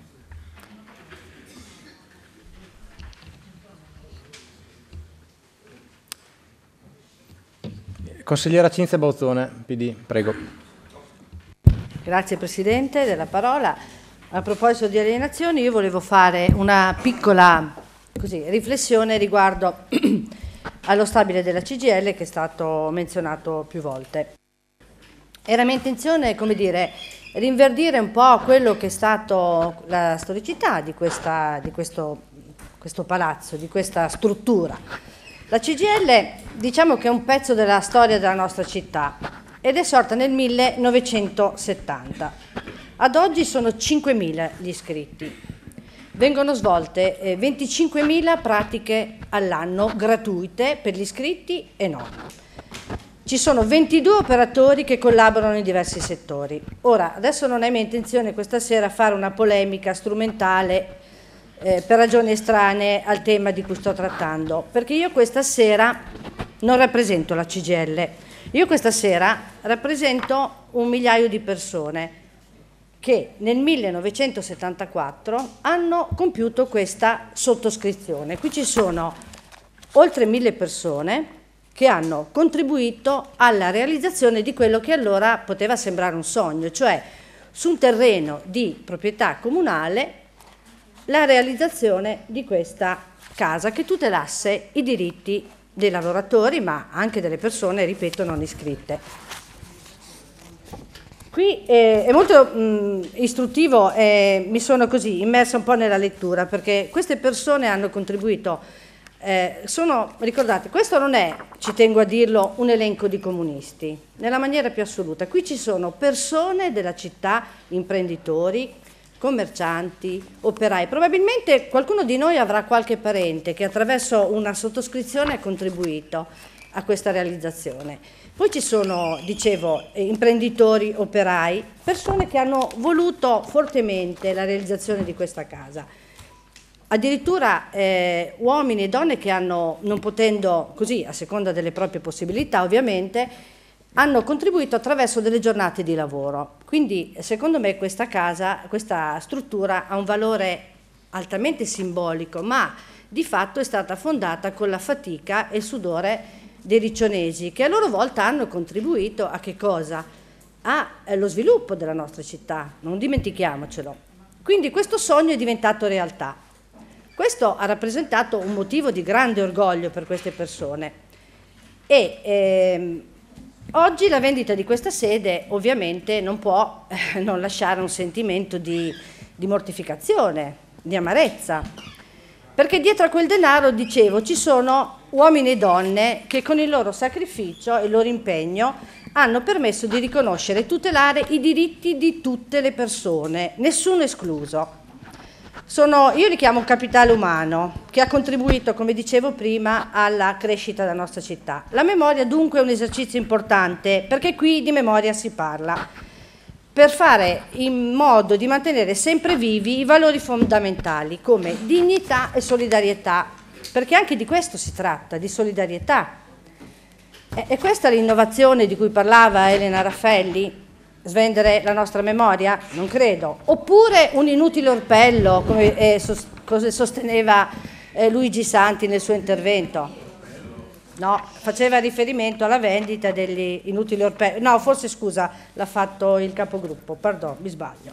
Comunque io non lo considero assolutamente un inutile orpello, anzi io lo considero un, uh, un diritto di tutti noi, sostenere eh, diciamo, sostenere il valore simbolico di, questo, di questa struttura. Noi come Partito Democratico non ci fermeremo e quello che chiedo all'amministrazione invece è eh, se è stato inserito, inserito il diritto di, pre, di, prelazione, ma soprattutto chiedo un maggiore sforzo nel segno di quella solidarietà, di quella coesione che citavo prima. Nell'eventualità che il sindacato dovesse lasciare l'immobile per eh, ragioni legali, noi chiediamo che questo immobile appunto venga destinato per degli scopi sociali, come una casa di riposo per anziani e altro. Sì, esatto. E noi dicevo non ci fermeremo perché riteniamo ancora molto importante trasmettere alle nuove generazioni certi valori e certi messaggi e quindi mi auguro che ecco, anche l'amministrazione su questa cosa faccia una riflessione. Grazie. Grazie consigliera. Ci sono altri interventi? Consigliere Cicchetti, 5 Stelle. Um, devo una precisazione a Montanari. Adesso sentendo gli interventi qui del, del PD, sinceramente io non ne faccio una battaglia ideologica per me io darei mandato eh, pieno alla Tosi di vendere tutto quello che è possibile vendere, anche qui la sala del Consiglio Comunale, andiamo a fare il Consiglio Comunale al Victor, così scrocco lo spritz a, a Terincanti. Non mi interessa e gli darei anche eh, l'intermediazione, tanto per essere chiaro ideologicamente come sono impostato. Il problema Montanari è che a Riccione non si vende più niente Capisci questo? Se ci sono degli imprenditori che hanno speso milioni di euro per acquisire immobili di importanza e poi le lasciano lì marcire, vuol dire che Riccione dal punto di vista immobiliare non ha più appeal, non ha più interesse. Questo è il dato che io ti volevo trasmettere. Quando ti ho citato il Sole 24 ore, Te l'ho citato perché per il sole 24 ore siamo la città in Italia che perde di più nel mercato immobiliare, ma rispetto alla valorizzazione che gli dà lo Stato. L'OMI è l'Osservatorio Immobiliare Italiano ed è l'organo dell'Agenzia delle Entrate che si occupa di definire i valori immobiliari. Bene a Riccione vengono venduti all'asta fallimentare alla metà del valore minimo, a un terzo del valore massimo. Questo è il dato. Se tu vieni in banca con me domani mattina, io sono andato, mi hanno detto mi finanziano il magazzino, mi finanziano le fatture, mi finanziano se voglio cambiare la macchina, mi finanziano se voglio cambiare lo scooter, mi finanziano anche le tette di mia moglie. Eh, no, no, finanziano anche quelle, te, te lo posso assicurare, finanziano anche quelle se vuoi. No, no, per dire, ma non mi finanziano un mattone. Il mattone non me lo finanziano. Il mattone ne hanno tonnellate da vendere lì dentro, dentro le banche. Io mi sono dimenticato di citarti le conchiglie. Le conchiglie lì cosa fa? Non è brutto quel mattone, non è neanche tanto brutto, si può mettere, sistemare, ma non c'è nessuno che ha voglia di venire a investire a Riccione. Questo è lo stato di fatto. Allora o cambiamo un po' mentalità e cerchiamo tutti quanti di lavorare in una direzione un po' più innovativa, non mi portate qui i, i, trenini di architetti che devono progettare la città futura. Portate qui i trenini di gente che dice io investo domani mattina, ho i soldi, metto giù i soldi in sti mattoni abbandonati. Cosa, cosa, allora tu se mi metti 3 milioni e 100 per la CGL e c'è il bombo qui che è già di qualcuno che è solo da sistemare, trovi l'imprenditore che va a spendere 3 milioni e 100, se va in banca sai quanti immobili trova a Riccione per meno di 3 milioni e 100? Trova degli alberghi interi, trova degli alberghi interi con 3 milioni e 100, anche le conchiglie gli danno con 3 milioni e 100. Vogliamo provare domani mattina ad andare in cassa di risparmio di Rimini, in Karim, con 3 milioni e 100 sull'unghia, se non te la danno? E quella lì arriva al mare, non è in Viale Ceccarini Alta. Cosa ci fai lì? Cosa ci fai lì? Ci fai due appartamenti, tre mini appartamenti? Mancano i mini appartamenti a Riccione? Ci fai due cose, due negozi sotto, mancano i negozi da affittare a Riccione? Ho finito, mancano ancora sei minuti, ce ne ho ancora. No, no, ma lo so, ma non, ma non, è una questione politica, ripeto, non è una questione di maggioranza e minoranza, è una questione di mercato. È mercato, mercato. Vieni domani mattina con me in banca e andiamo a trovare uno che ci dà due soldi per un mattone. Non lo trovi più, l'ha detto la Banca d'Italia. I mattoni in Italia non si vendono più. Oppure dobbiamo riempirci di immigrati, ma loro non vogliono, quindi non si può. Quanti figli abbiamo fatto? Non li abbiamo fatti i figli. Se non abbiamo i figli che crescono, siamo noi che invecchiamo e basta. Te quanti appartamenti lasci ai tuoi figli? Ne hai? Ecco, bravo. Eh, e siete in due. Quindi, quindi due che lasciano due case. Il discorso è questo. Demograficamente non cresciamo. Demograficamente non cresciamo, abbiamo gli immobili e non abbiamo i figli. O le fai venire da fuori, questo è un discorso, demo- è un discorso matematico, non cambia niente. Aspetta un attimo, finisco. E c'è il discorso sulle scuole. Guarda che le Pascoli è, andato, è stata venduta a ottobre, il preliminare è stato fatto a ottobre. Se non volevate eh, vendere le Pascoli alla provincia, cos'erano le Pascoli? Scusate, forse sbaglio.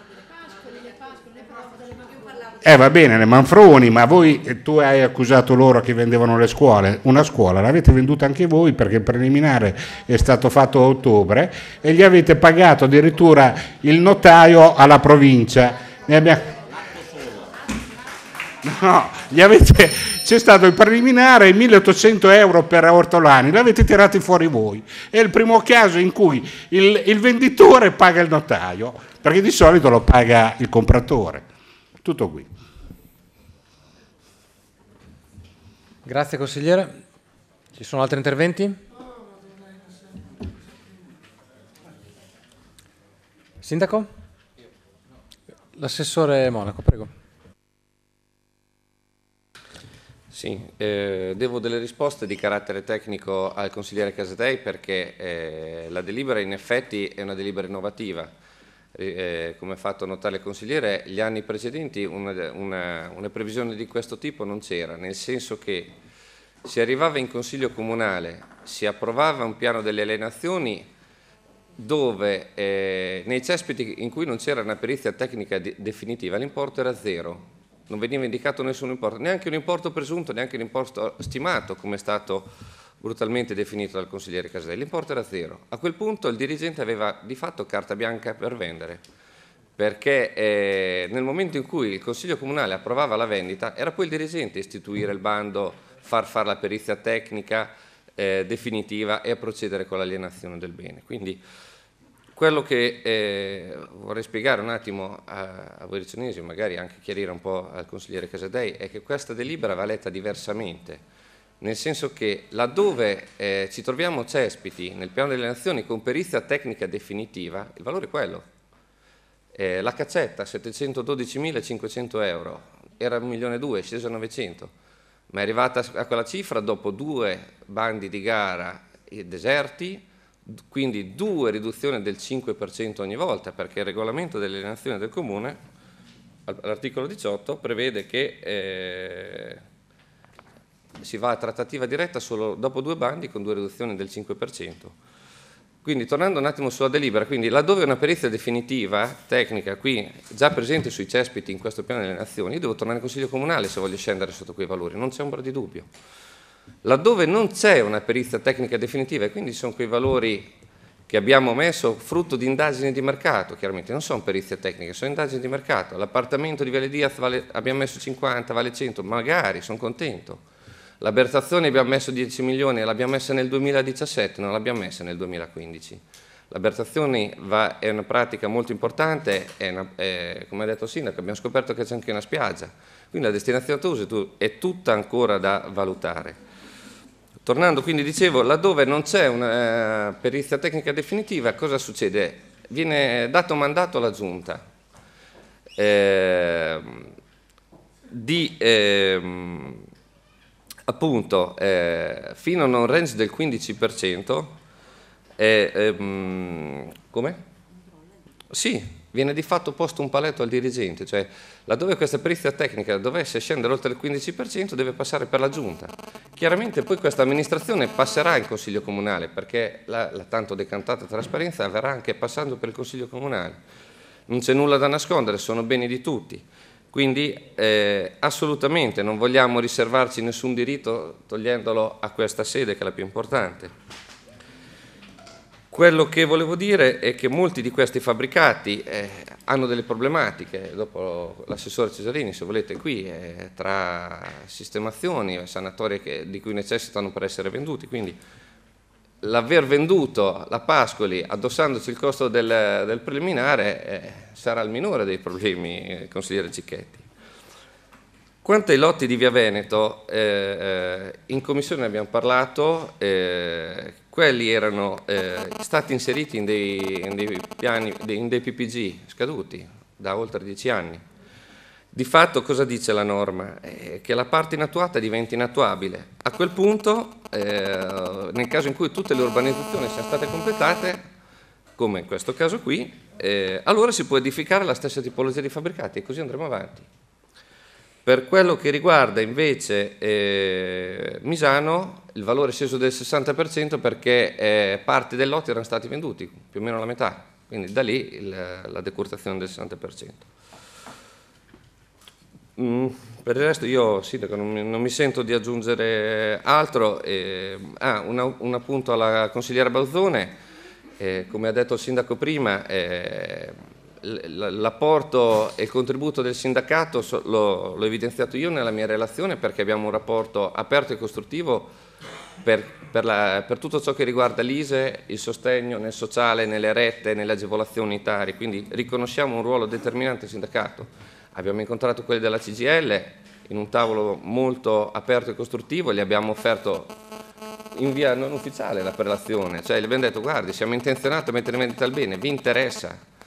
E loro si stanno guardando intorno, stanno facendo le valutazioni, chiaro che eh, non abbiamo nulla contro la CGL e riteniamo importantissimo il loro servizio.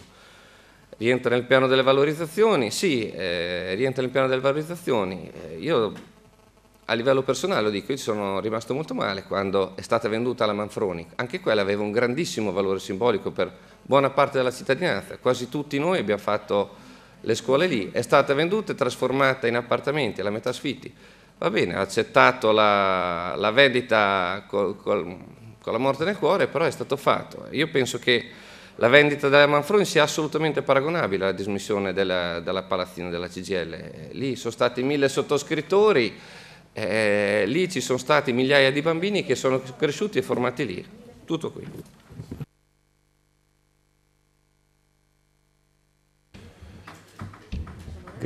Grazie Assessore. Eh, ci sarebbero le conclusioni del Sindaco se ha intenzione di replicare. Conclusioni. Prego. Senza tediare, ma due piccole precisazioni devono essere appunto fatte. In primis quella riguardante il terreno di Misano Adriatico. Bisogna però andarli a leggere tutti gli interventi Casadei e non estrapolarli perché era grazie all'intervento della minoranza tutta che finalmente vennero inseriti i terreni di Misano Adriatico che il Comune di Riccione neanche sapeva di avere nel Comune di Misano. E ne abbiamo ancora due piccoli pezzi perché il, il, punto, il valore è stato diminuito rispetto a quello precedente nel piano delle valorizzazioni perché la parte diciamo più diretta e appetibile è andata immediatamente in vendita eh, con un introito che stiamo concludendo, ovvero nell'incasso, quindi con la concessione anche della rateizzazione. Quello che c'è rimasto, anche per aiutare chi segue il Consiglio Comunale di che trattasi, è, eh, sono due pezzi di terreno, più precisamente eh, il primo in adiacenza a via Platani in Misano Adriatico e via Platani è il viale immediatamente dopo faccio un po' di pubblicità ma non credo me ne taccerà nessuno, subito dopo ristorante La Stazione a Misano Adriatico, quindi un primo pezzo lo abbiamo nell'angolo di via Platani, mentre la restante parte l'abbiamo oltrepassata la parte della signora Ceschina Marina e quindi intercluso nell'ambito della sua stessa proprietà con difficoltà di intervento in queste due distinte zone.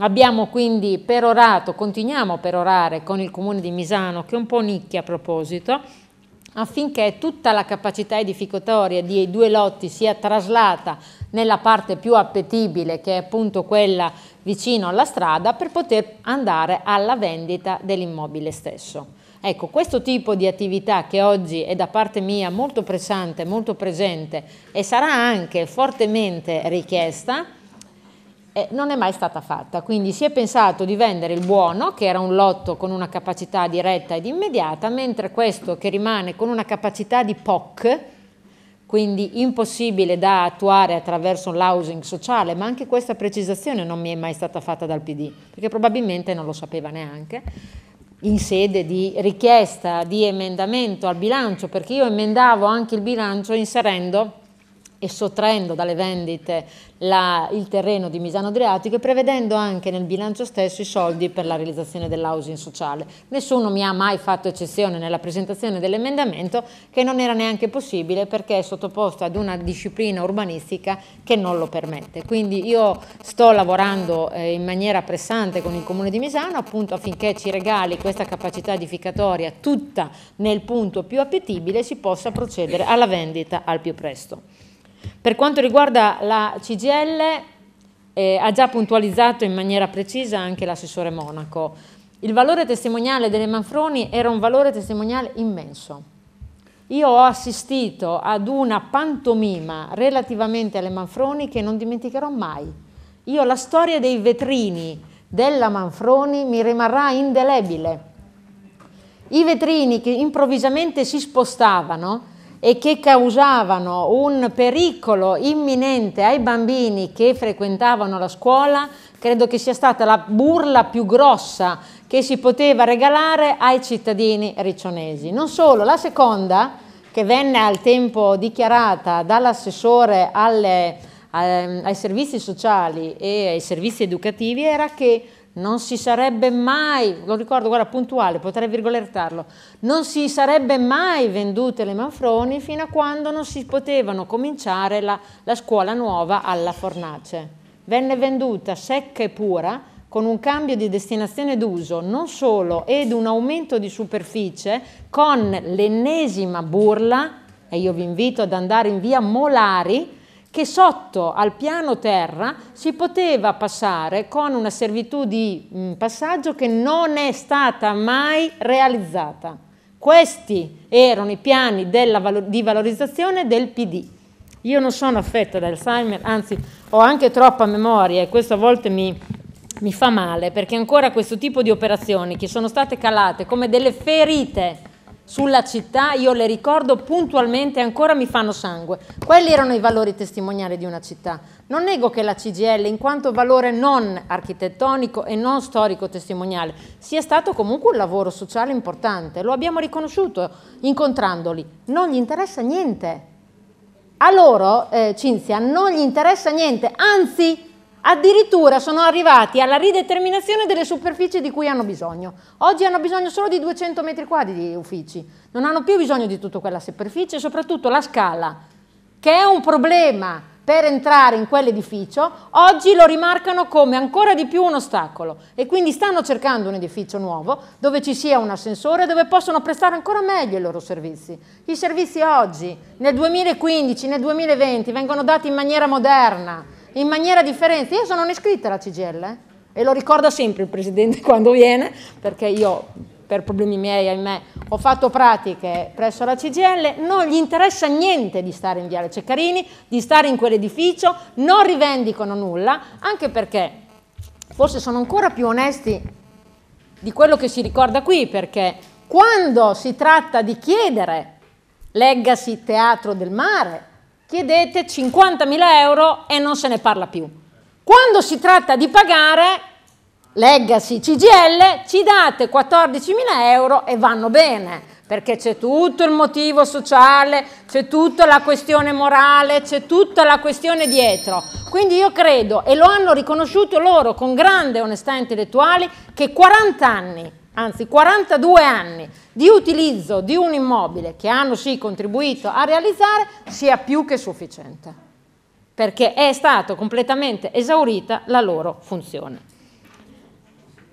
Per quanto riguarda le perizie, credo che sia stato puntuale e preciso. Questa amministrazione è stata leggerotta dopo i bandi nella vendita degli immobili, l'abbiamo detto più volte, io mi sono presa anche una querela a questo proposito, il dottor Nicolini mi querelò perché avevo dichiarato che le vendite di certi immobili erano state fatte in maniera così, con valori che non riputavo neanche corretti, mi querelò a questo proposito, però era così. Cioè, dopo i due bandi, il dirigente aveva la possibilità di vendere a trattativa privata a qualsiasi valore. Oggi noi abbiamo messo un paletto che si tratta appunto quella della riduzione del 15%, non perché non ci si fidi del dirigente, ma che perché credo che la parte politica tutta, in primis la giunta, ma noi torneremo tranquillamente e serenamente in Consiglio Comunale, debba poter controllare quando il valore si riduce oltre il 15%.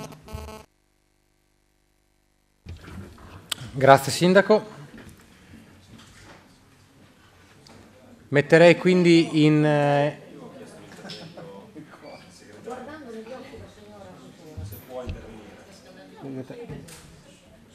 No, in merito alla, alla, richiesta ove praticamente una pratica dovesse, ecco, per esempio, mancare di un elemento, è ovvio che si ritornerà in Consiglio Comunale, anche perché voglio dire la perizia e quindi la stima esatta è un elemento essenziale che lo stesso notaio chiede ai fini quindi del, del rogito dell'atto so se sono stata chiara, per cui è ovvio anche quando si parla di valori presuntivi dove praticamente non dovesse eh, corrispondere poi quel valore in sede di si ritorna in Consiglio Comunale perché l'ultima parola sta sempre al Consiglio Comunale. Quindi anche al di fuori del 15%? Allora, se in questo caso è stato quindi stabilito il 15%, è legittimo trattenerlo in giunta o no? Praticamente il Consiglio Comunale può de delegare in questo caso la Giunta, in questo caso sta demandando alla Giunta ehm, con questo limite. Però cioè, io lo so che lo stiamo demandando, però quello che a me non torna è che c'è un decreto legislativo che impedisce di farlo.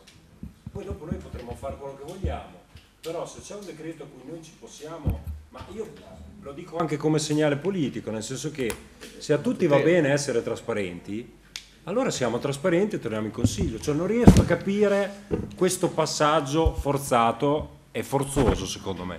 Semplicemente questo. Poi io chiedevo il suo intervento nel, nel, nello spiegarmi se è una cosa fattibile, al di là che lo possiamo fare, che il Consiglio lo possa fare. Però visto che io ho richiamato un decreto legislativo che dice il contrario, volevo soltanto capire se realmente non stiamo forzando una cosa che... decreto legislativo che le ha richiamato? 267 del 2000 Eh, che 17. converte la legge 142 del 90 che vieta le deleghe trasferite dal Consiglio alla Giunta. No, no, perfetto, però voglio dire, questa è una cosa diversa. Allora, il Consiglio Comunale è competente e quindi non può delegare ad autorizzare le compravendite, perché ai sensi dell'articolo 42 è una competenza esclusiva del Consiglio Comunale e attraverso questo piano e quindi l'autorizzazione che viene data al Consiglio Comunale, quindi organo deputato, effettivamente il Consiglio Comunale sta autorizzando e sta autorizzando anche con dei valori, diciamo, di massima e anche demandando in un range comunque stabilito sempre qui all'interno del piano eventualmente quali possono essere i valori do- all'interno dei quali ci si può muovere. Per cui effettivamente non si sta derogando assolutamente alla competenza del Consiglio Comunale. Ove invece praticamente si dovesse andare al di fuori di questo range è ovvio che si ritornerà in Consiglio Comunale per avere l'altra autorizzazione che è diversa da quella che attualmente il Consiglio Comunale sta esprimendo. Il Consiglio Comunale esprime l'autorizzazione alle compravendite e sta fissando un valore di massima e anche diciamo, un range all'interno del quale ci si può muovere. Ove questo range non dovesse essere rispettato è ovvio che si ritornerà in Consiglio Comunale perché non, eh, non è l'autorizzazione che è stata data.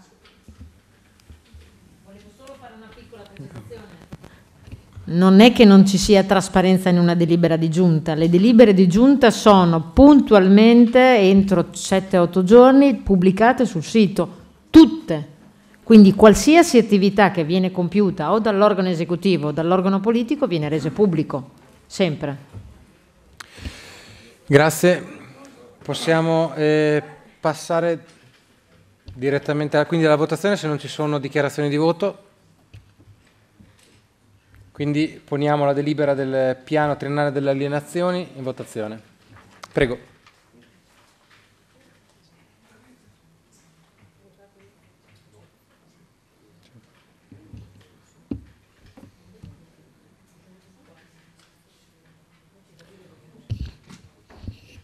Con 16 voti favorevoli, 6 voti contrari e 2 astenuti, la delibera è approvata.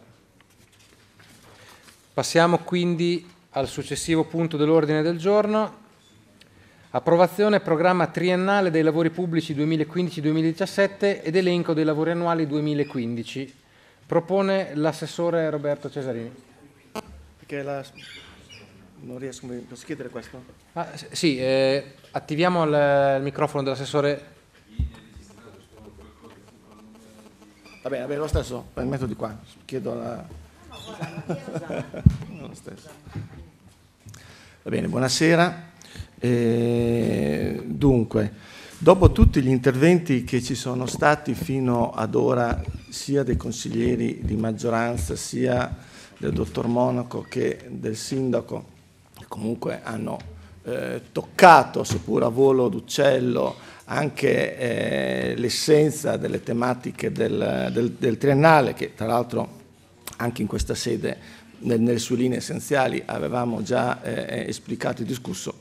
Credo che farò un mero esercizio di, di tautologia, nel senso che eh, e questo vuole essere anche il, il segno che tutto quello che viene portato eh, all'attenzione dei consiglieri, ma anche all'attenzione del- della cittadinanza, è il lavoro di una squadra è il lavoro di una squadra che non sta solo eh, in questi banchi, ma è il lavoro di, una squadra anche che condividiamo con, con i consiglieri.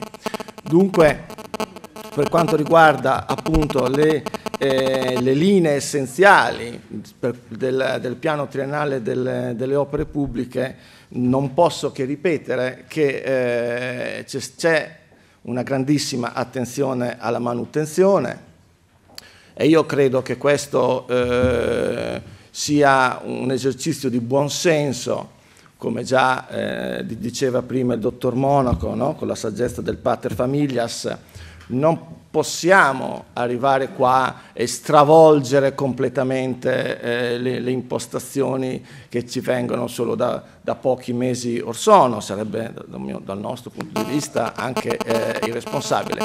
Certo che vogliamo piano piano dare dei segni e su questo concordo perfettamente con quanto diceva il consigliere Cicchetti, no? che chiedeva dei segni, no? Ecco. Eh. Stavo guardando cosa significava tautologia su Google. no, vabbè, dai.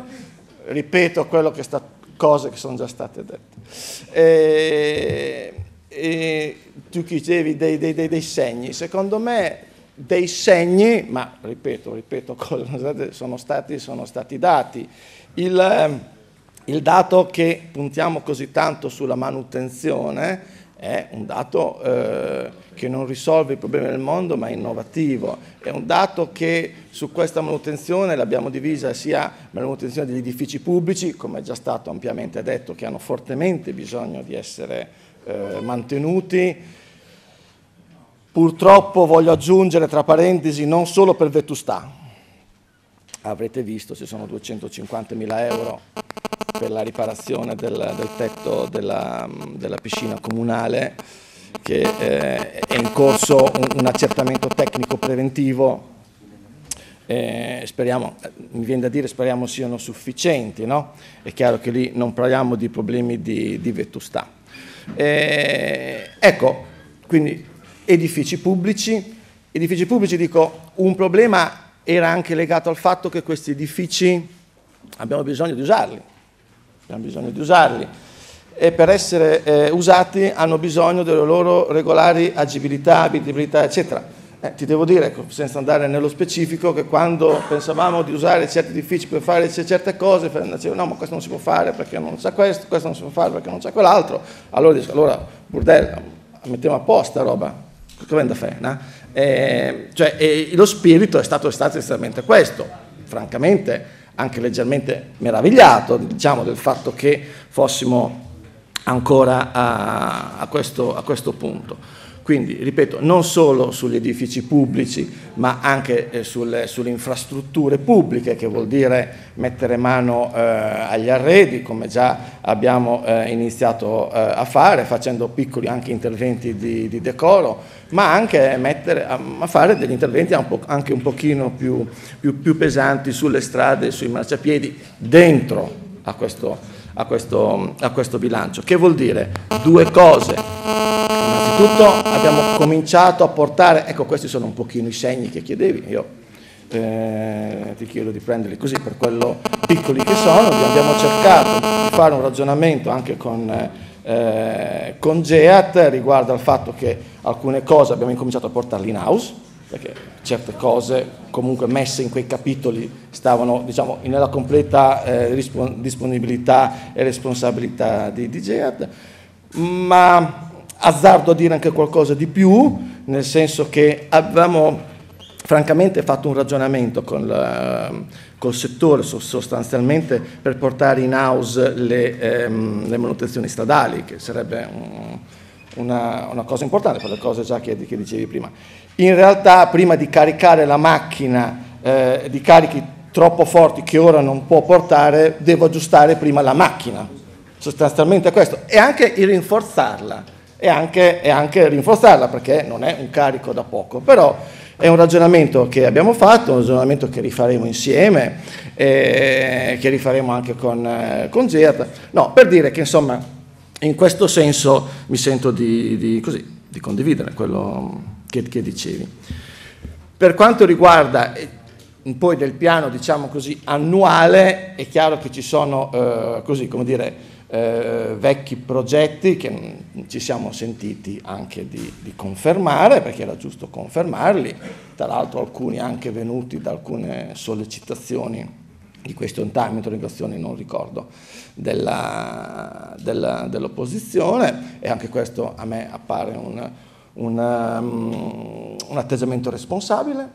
Eh, ab- e per inserire nuovi lavori e chiaramente eh, eh, c'è il passo lungo e il passo lungo dal punto di vista degli edifici pubblici abbiamo fatto una scelta che è quella di puntare, non ho nessun problema a dire di nuovo, eh, sull'edilizia scolastica, non mi voglio dilungare sulla, eh, sull'importanza che, che, riveste per noi, credo come ogni eh, cittadino italiano, vedo che anche il governo è molto impegnato eh, su questo. Stiamo lavorando anche sull'emendamento che vi fa, l'emendamento, la richiesta no, di utilizzare l'8 per 1000, no?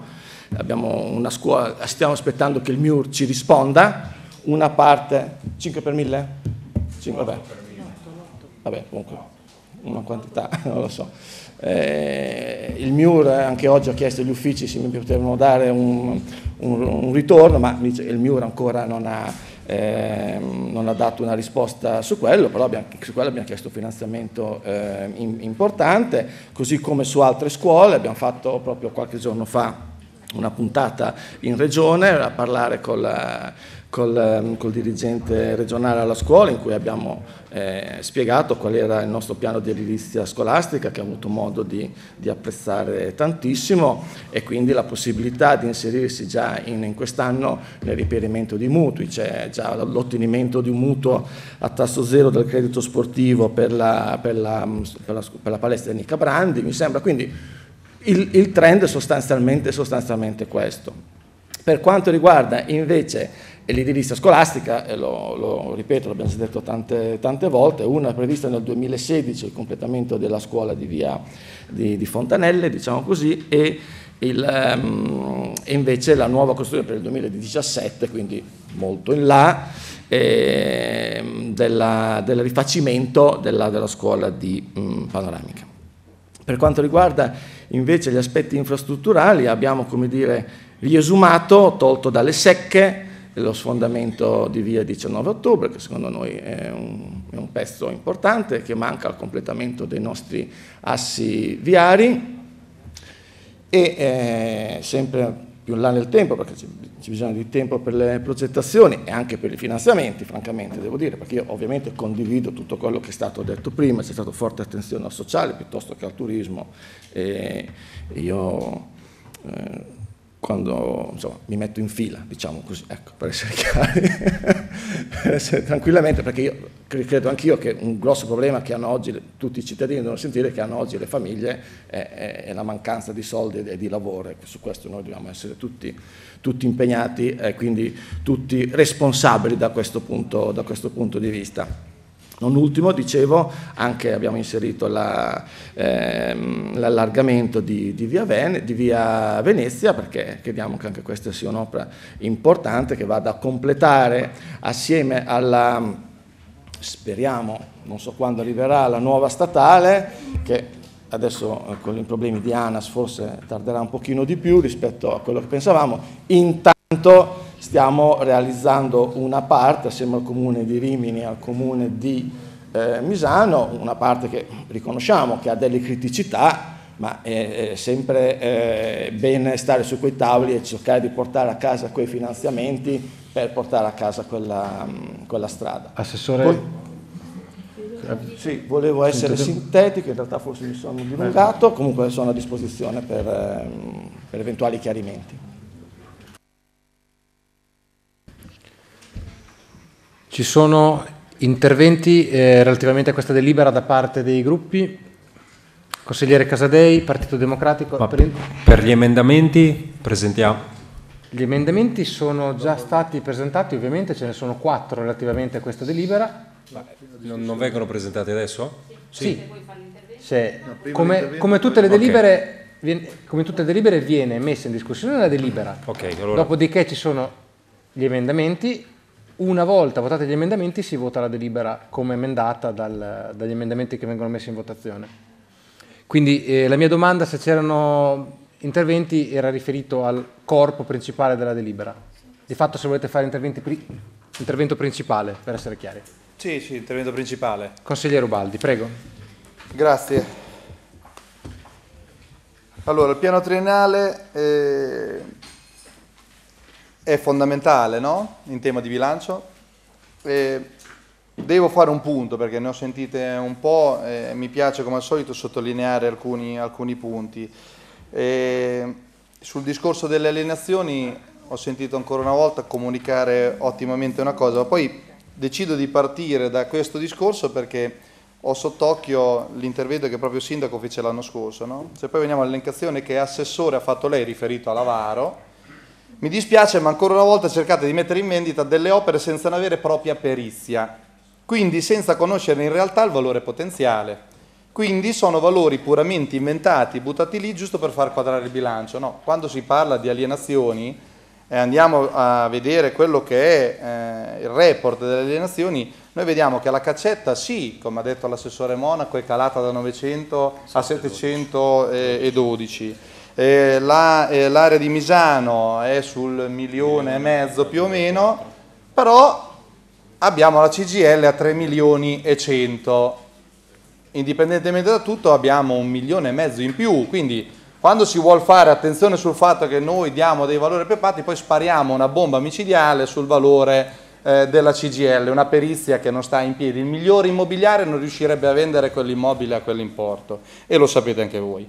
Passiamo alla scuola, facciamo un attimo chiarezza. Hai detto una cosa, Emanuele, che non ha eh, ragione di esistere. Sulla scuola siamo sempre stati molto molto presenti. Eh, sulla Geocenci, eh, per far quadrato anche col discorso della Manfroni, noi abbiamo venduto la Manfroni, ma ci abbiamo fatto la più bella scuola della provincia. Piaccia o non piaccia, c'era il pericolo, qualcuno, qualcuno si lamentava per quell'istituto, uno scandalo, come pare a te?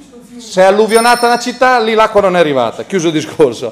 La arancioni, le arancioni abbiamo vinto un bando regionale, ma le, le arancioni abbiamo vinto un bando regionale, e le blu, i lavori portati avanti, tutti gli interventi scolastici che avete già programmato sono interventi ereditati dalla legislatura precedente.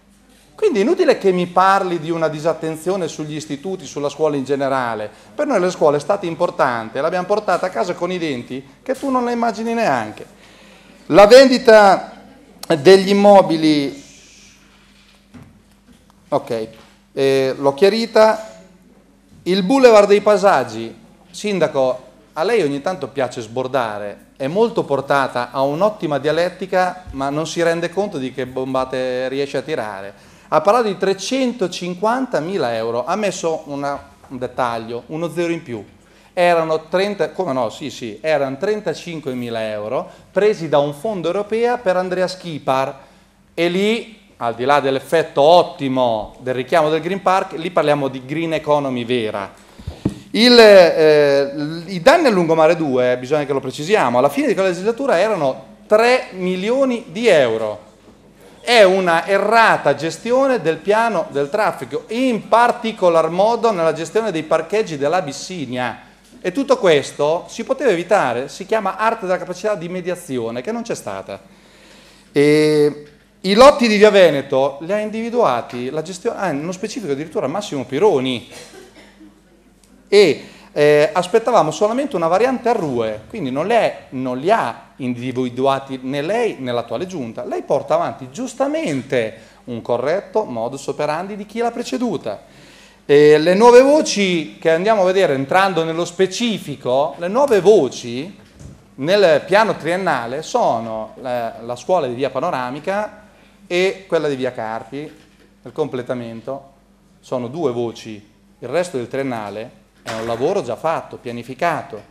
Cioè voi state, è quello che dicevo, è una sorta di continuità, state continuando a portare avanti un ottimo lavoro fatto in tema di programmazione. Quindi non potete dire che c'è uno stravolgimento, c'è una minima integrazione. E qui arriviamo al punto che poi mi interessa, perché poi quando diciamo eh, bisogna fare le cose a modo, bisogna avere la trasparenza e quant'altro, Arriviamo alla nota dolente, quella che io interpreto come nota dolente, poi ognuno di voi è libero di darmi le spiegazioni del caso. Il triennale è il momento attuativo degli studi di fattibilità. Lo studio di fattibilità, per chi non lo sapesse, è quel documento che mette dentro il progetto, il conto economico e per quanto riguarda anche la strumentazione urbanistica. Questo documento dice la- che c'è la fattibilità oppure anche la non opportunità, perché la fattibilità è legata anche all'opportunità di non farlo, vuol dire che non ci sono i presupposti. Su una battuta del sindaco nell'ultima commissione, vale a dire ieri, è venuto fuori il discorso sulla pista ciclabile, credo che parlavamo io e te Elena, sul fatto che da, mi ha ricordato giustamente che da 100.000 euro al milione lo studio di fattibilità è obbligatorio. Stamattina io mi sono recato negli uffici, ho fatto una richiesta, eh, da, da- un accesso agli atti urgente, sono arrivato negli uffici, ho chiesto a mezzogiorno e mezza più o meno, c'era anche William, ho chiesto di poter prendere visione, giustamente c'era anche la pausa pranzo, eh, i, diciamo, i tecnici sono andati a pranzo, ci siamo ridati appuntamento per le tre, alle tre sono arrivato e ho preso eh, visione. Vado eh, in, sinte- in sintesi perché poi mancano tre minuti, quasi quattro. Sono emersi studi del 2006 e 2010. La legge prevede che sia possibile, sia chiaro, però ci sono stati degli sviluppi in base al RUE e al PSC che richiedono una rivisitazione di questi studi. Parto voce per voce su quella che è stata la mia analisi. Il completamento della scuola Via Carpi, ho visto la fotocopia di una piantina, non c'era nessuno studio, dopo 20 minuti mi è arrivata una documentazione con le cartine colorate, tra l'altro firmata non a data specifica, ma con la scritta dicembre 2014, proprio abbozzata. Chiuso, andiamo avanti. Sfondamento 19 ottobre, terzo stralcio è fuori dal triennale. Vuol dire che in pratica si sviluppa su tre anni, ma non, non è, non è previsto nessuno studio in merito. Quindi anche questo mi ha lasciato un grosso punto interrogativo. La ciclabile di Viale Veneto è un progetto originale senza modifiche, così come presentate dalla maggioranza agli abitanti, cioè siete anche usciti previo carta stampa, cioè avete detto agli abitanti che quello verrà modificato, non c'è nessuna modifica sulla ciclabile via Veneto, che verrà modificato, è uscito credo addirittura l'assessore pubblicamente. Benissimo, non c'è uno studio alternativo, nel caso andava messo. No, no, va bene, confermate quello. Quindi ai, ai cittadini a cui avete promesso che saranno modifiche, glielo state dicendo stasera che non era vero. Pro- Che rimane l'originale. No, no, ma va benissimo, a me non è che... Abito vicino, ma non sono di San Lorenzo. non- Perfetto. I- il- la stessa cosa per via Venezia. Prima parlavamo di Apea, con Apea l'avremmo fatto e avremmo speso anche qualcosa meno. Anch'io ti faccio l'occhiolino. Nel senso che il progetto è stato modificato, decurtato, meno costoso per centinaia di migliaia di euro. Oggi il, il tecnico col quale ho parlato mi ha parlato una modifica, vuol dire una rinuncia da un'opera che costava sui 2 milioni e 9, si va sui 2,2 con questa rinuncia, un, eh, un, eh, un risparmio di 600-700 mila euro e su questo non esiste il progetto aggiornato. Il progetto del primo maggio è un progetto vecchio che tiene conto delle nuove variazioni che sono state dal punto di vista urbanistico subordinate al porto, sono subordinate al porto, tra l'altro lì ci sono i POC che abbiamo votato l'anno scorso, il progetto non è aggiornato. No, lo dico anche perché ci sono i revisori dei conti, vorrei che la cosa fosse chiara. Scuola di via panoramica, la scuola di via panoramica, Tosi, eh, sindaco, lei l'anno scorso disse che era l'emergenza assoluta. Io la vedo, se ho sbagliato male a vedere, nel 2017, se non sbaglio come intervento. 2017, quindi non è proprio una grande emergenza. La risposta che mi è stata data, non c'era nulla, su via panoramica non c'era, non ci deve essere nulla, dopo questo me lo spiega lei. Io, mm, no, io non lo devo sapere, io, sa, io vendo le birre, lei è il sindaco. Io, la risposta che mi è stata detta sta spattaccando l'assessore, questa è proprio, non era Palmiro Cangini ma era un tecnico, eh, stava spattaccando l'assessore. Uno studio di fattibilità è un atto d'ufficio dovuto su una opera di 2 milioni di euro. Deve essere a disposizione soprattutto in fase di approvazione del triennale e io non ho avuto visione di questa, di questa cosa. Ma cosa spattacchiamo a fare se è tutto già pronto? Cosa ci stiamo a spattaccare a fare? Cioè stasera si vota il bilancio, qualcuno sta spattaccando a uno studio di fattibilità E la domanda gliela rigiro lei, Sindaco. Se un suo tecnico non sa che non serve uno studio di fattibilità, le perplessità sono più le sue che le mie. Non c'è problema. Dopo 20 minuti che giro morale della favola tra gli uffici, mi viene portata una cartella Consigliere, rossa. concludiamo? Sì, certo, ancora, eh, però prima che finisca il tempo. Mi viene portata una cartella rossa con all'interno l'antincendio e l'antisismica della scuola elementare di Riccione Paese. Io ho perso le lezioni, ma non ho perso il cervello. Grazie. Grazie consigliere.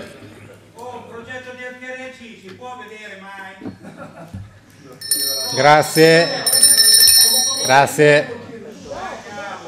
Grazie. Silenzio, grazie. Per cortesia, grazie. Consigliere, eh, una precisazione, visto che le sue precisazioni nei confronti dei nostri uffici sono sempre puntuali. Eh, la sua richiesta di accesso agli atti per gli studi di fattibilità è datata 16 aprile mattina. Ecco, quindi magari averli chiesti un po' prima, visto che si parla di progetti che sono stati inseriti nel triennale più di 30 giorni fa, magari non avrebbe messo in condizione gli uffici di fare le corse, avrebbe messo lei in condizione questa sera di avere tutti i documenti. Grazie. E la parola al consigliere Arcangeli che l'aveva già chiesta, grazie. Grazie Presidente. Dunque io fa- vorrei fare una considerazione appunto sul, sul piano triennale degli investimenti e a riguardo al vizio di forma che appunto eh, riguarda il, la voce 60.460, gli interventi contro l'erosione marina e la gestione del sabbiadotto, che ovviamente per un vizio di forma non è stata presa in considerazione come emendamento. E niente, eh, la mia considerazione è questa, che appunto sul, sulle risorse che l'amministrazione ha deciso di, di investire sull'erosione marina e sulla gestione del sabbiadotto, è chiaro che l'amministrazione appunto attende solo eh, le risorse messe a disposizione dalla regione. Eh, è questo, no? Eh, solo 100.000 euro dal comune di Riccione fa, fa sorridere appunto. Eh, Nel mio caso fa un po' piangere visto che comunque sono interessato insieme anche a Palazzi eh, per quello che riguarda il mare.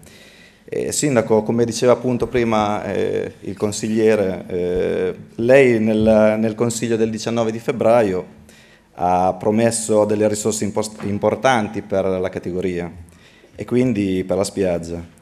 Eh, le sue parole sono state appunto quelle mi metto le mani in tasca, se i finanziamenti non arrivano per la stagione che, che ha alle porte, eh, li metterò io personalmente, quindi addirittura eh, aveva menzionato entro Pasqua, quindi la Pasqua l'abbiamo bella che è passata.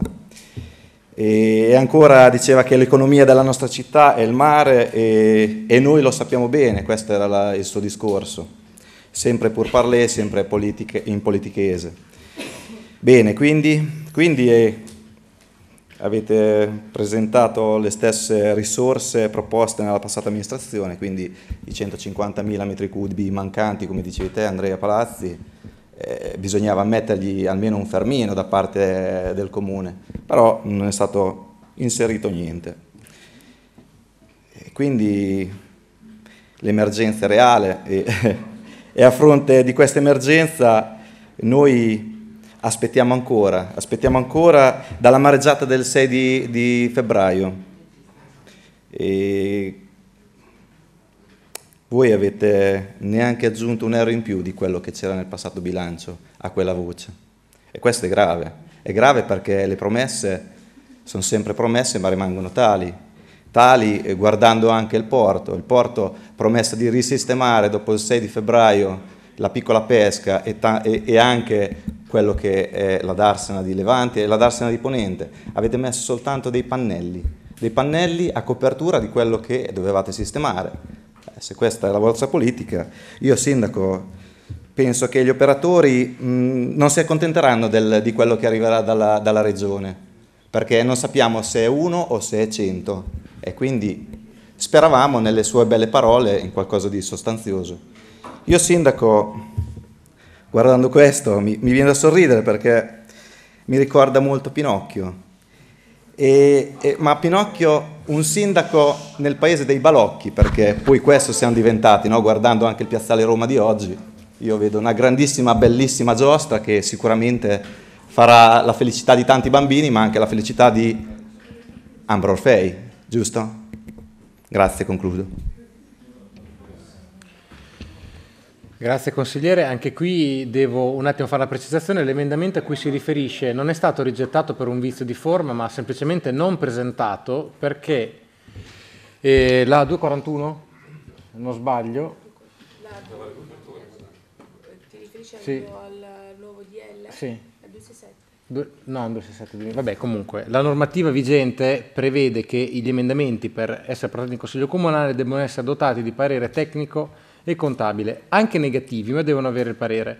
La dirigente servizi finanziari ha risposto a chi aveva presentato il vostro emendamento dicendo che era incompleto e quindi non si poteva esprimere parere. Quindi non è un, un vizio di forma, ma una mancanza di sostanza perché l'emendamento non era sufficientemente chiaro perché gli potesse, essere, gli potesse venire dato un parere. Quindi non è un semplice vizio di forma, non cerchiamo di suggerire a chi ci ascolta il fatto che blocchiamo gli emendamenti per delle virgole. Mancava una parte importante dell'emendamento. E... Consigliere è già intervenuto, c'è un intervento per gruppo. Sembra sempre che qui tutti quanti debbano avere l'ultima parola. E... Consigliere Cicchetti? Se dice una cosa il Presidente, non è che poi si richiede la parola per rispondere al Presidente. L'ultima parola l'ha avuta lei per due o tre volte di fila. Guarda, guarda caso, però sono il Presidente del Consiglio Comunale. Ecco, molto bene. Posso? Allora, è rivolta sempre a te Lele, perché... No, è una risposta che volevo dare, ma tra l'altro mi ha dato anche un'idea. Siccome mancano i soldi e le cerchiamo nell'immobiliare, e abbiamo già detto che l'immobiliare non si prende, no? Prima Roberto Monaco mi ha ricordato Rimini Holding.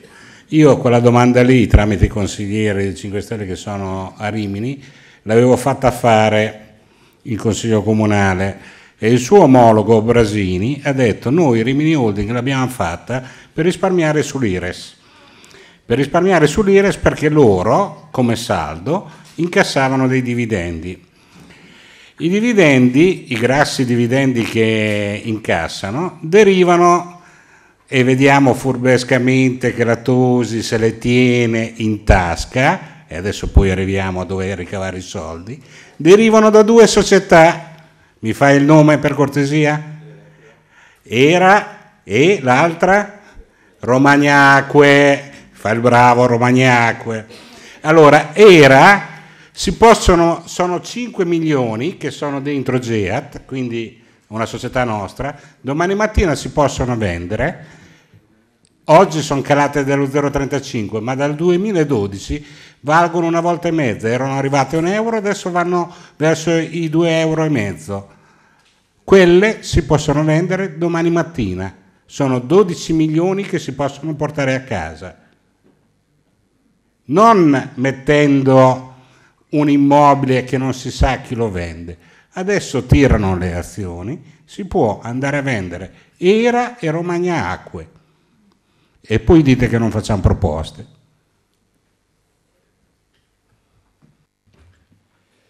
Sono conclusi gli interventi da parte dei consiglieri? Consigliera Ermetti, noi riccionesi, prego. Buonasera, Io, mi dispiace essere ripetitiva perché se ne è parlato ormai tutta la sera, però purtroppo nel piano triennale noi siamo costretti a occuparci della sistemazione di ciò che esiste già. Io penso che a noi sarebbe piaciuto rifare qualcosa di, di nuovo e qualcosa di, di immediato, ma purtroppo dobbiamo mettere le toppe a quello che avete fatto voi perché è, da- è opportuno e doveroso investire da parte di questa amministrazione nel recupero, nel recuperare, recuperare gli errori passati, come quando si deve recuperare a scuola un 5, un 4, e investire quindi in quei lavori pubblici che, come si dice nel nostro gergo tecnico, non sono stati realizzati ad opera d'arte. Quindi in una casa, se abbiamo una perdita, non possiamo occuparci, dobbiamo chiamare prima l'idraulico se abbiamo i tempi contati, prima di occuparci di comprare il mega schermo. Quindi io credo che il piano triennale sia di grande qualifica per questa, per questa amministrazione, per questi cittadini, che si devono meritare una riccione migliore, una riccione più decorosa. Infatti, prima di tutto, completare le infrastrutture, miglioramento, come diceva l'assessore Cesarini, migliorare e riqualificare gli edifici scolastici e sportivi e chiaramente la loro messa in sicurezza. Come dicevo prima, completamento delle infrastrutture e manutenzione delle infrastrutture esistenti. Infatti l'asfaltatura è uno dei temi di, di- di particolare importanza e particolarmente sentiti dai cittadini e fanno parte di quella, come ha detto il sindaco, di quelle manutenzioni primarie che rendono dignitosa e decorosa la città. Quindi sarà premura di questa, di, di questa amministrazione occuparsene partendo proprio dalle manutenzioni, delle, dalle manutenzioni più urgenti. Quindi come, come sappiamo e come sapete voi, sono già in previsione ed inserite nel piano dell'asfalto. Quindi un, un piano che è un- costituito da un programma molto ampio e eh, si propone prima di tutto di lavorare nelle strade, per le strade per le strade dove i lavori sono già stati iniziati, per poi passare a occuparsi invece di tutte quelle strade eh, che invece devono dal nuovo essere sistemate. Chiaramente sono già stati effettuati, come diceva l'assessore Cesarini, dei sopralluoghi, delle verifiche tecniche e ci si occuperà di tutte le strade e di tutte le segnalazioni dei cittadini, ai quali si dà e si darà sempre un ascolto prioritario e con i quali si cercherà sempre di lavorare con grande sinergia. Grazie. Grazie consigliera. Se non ci sono interventi da parte del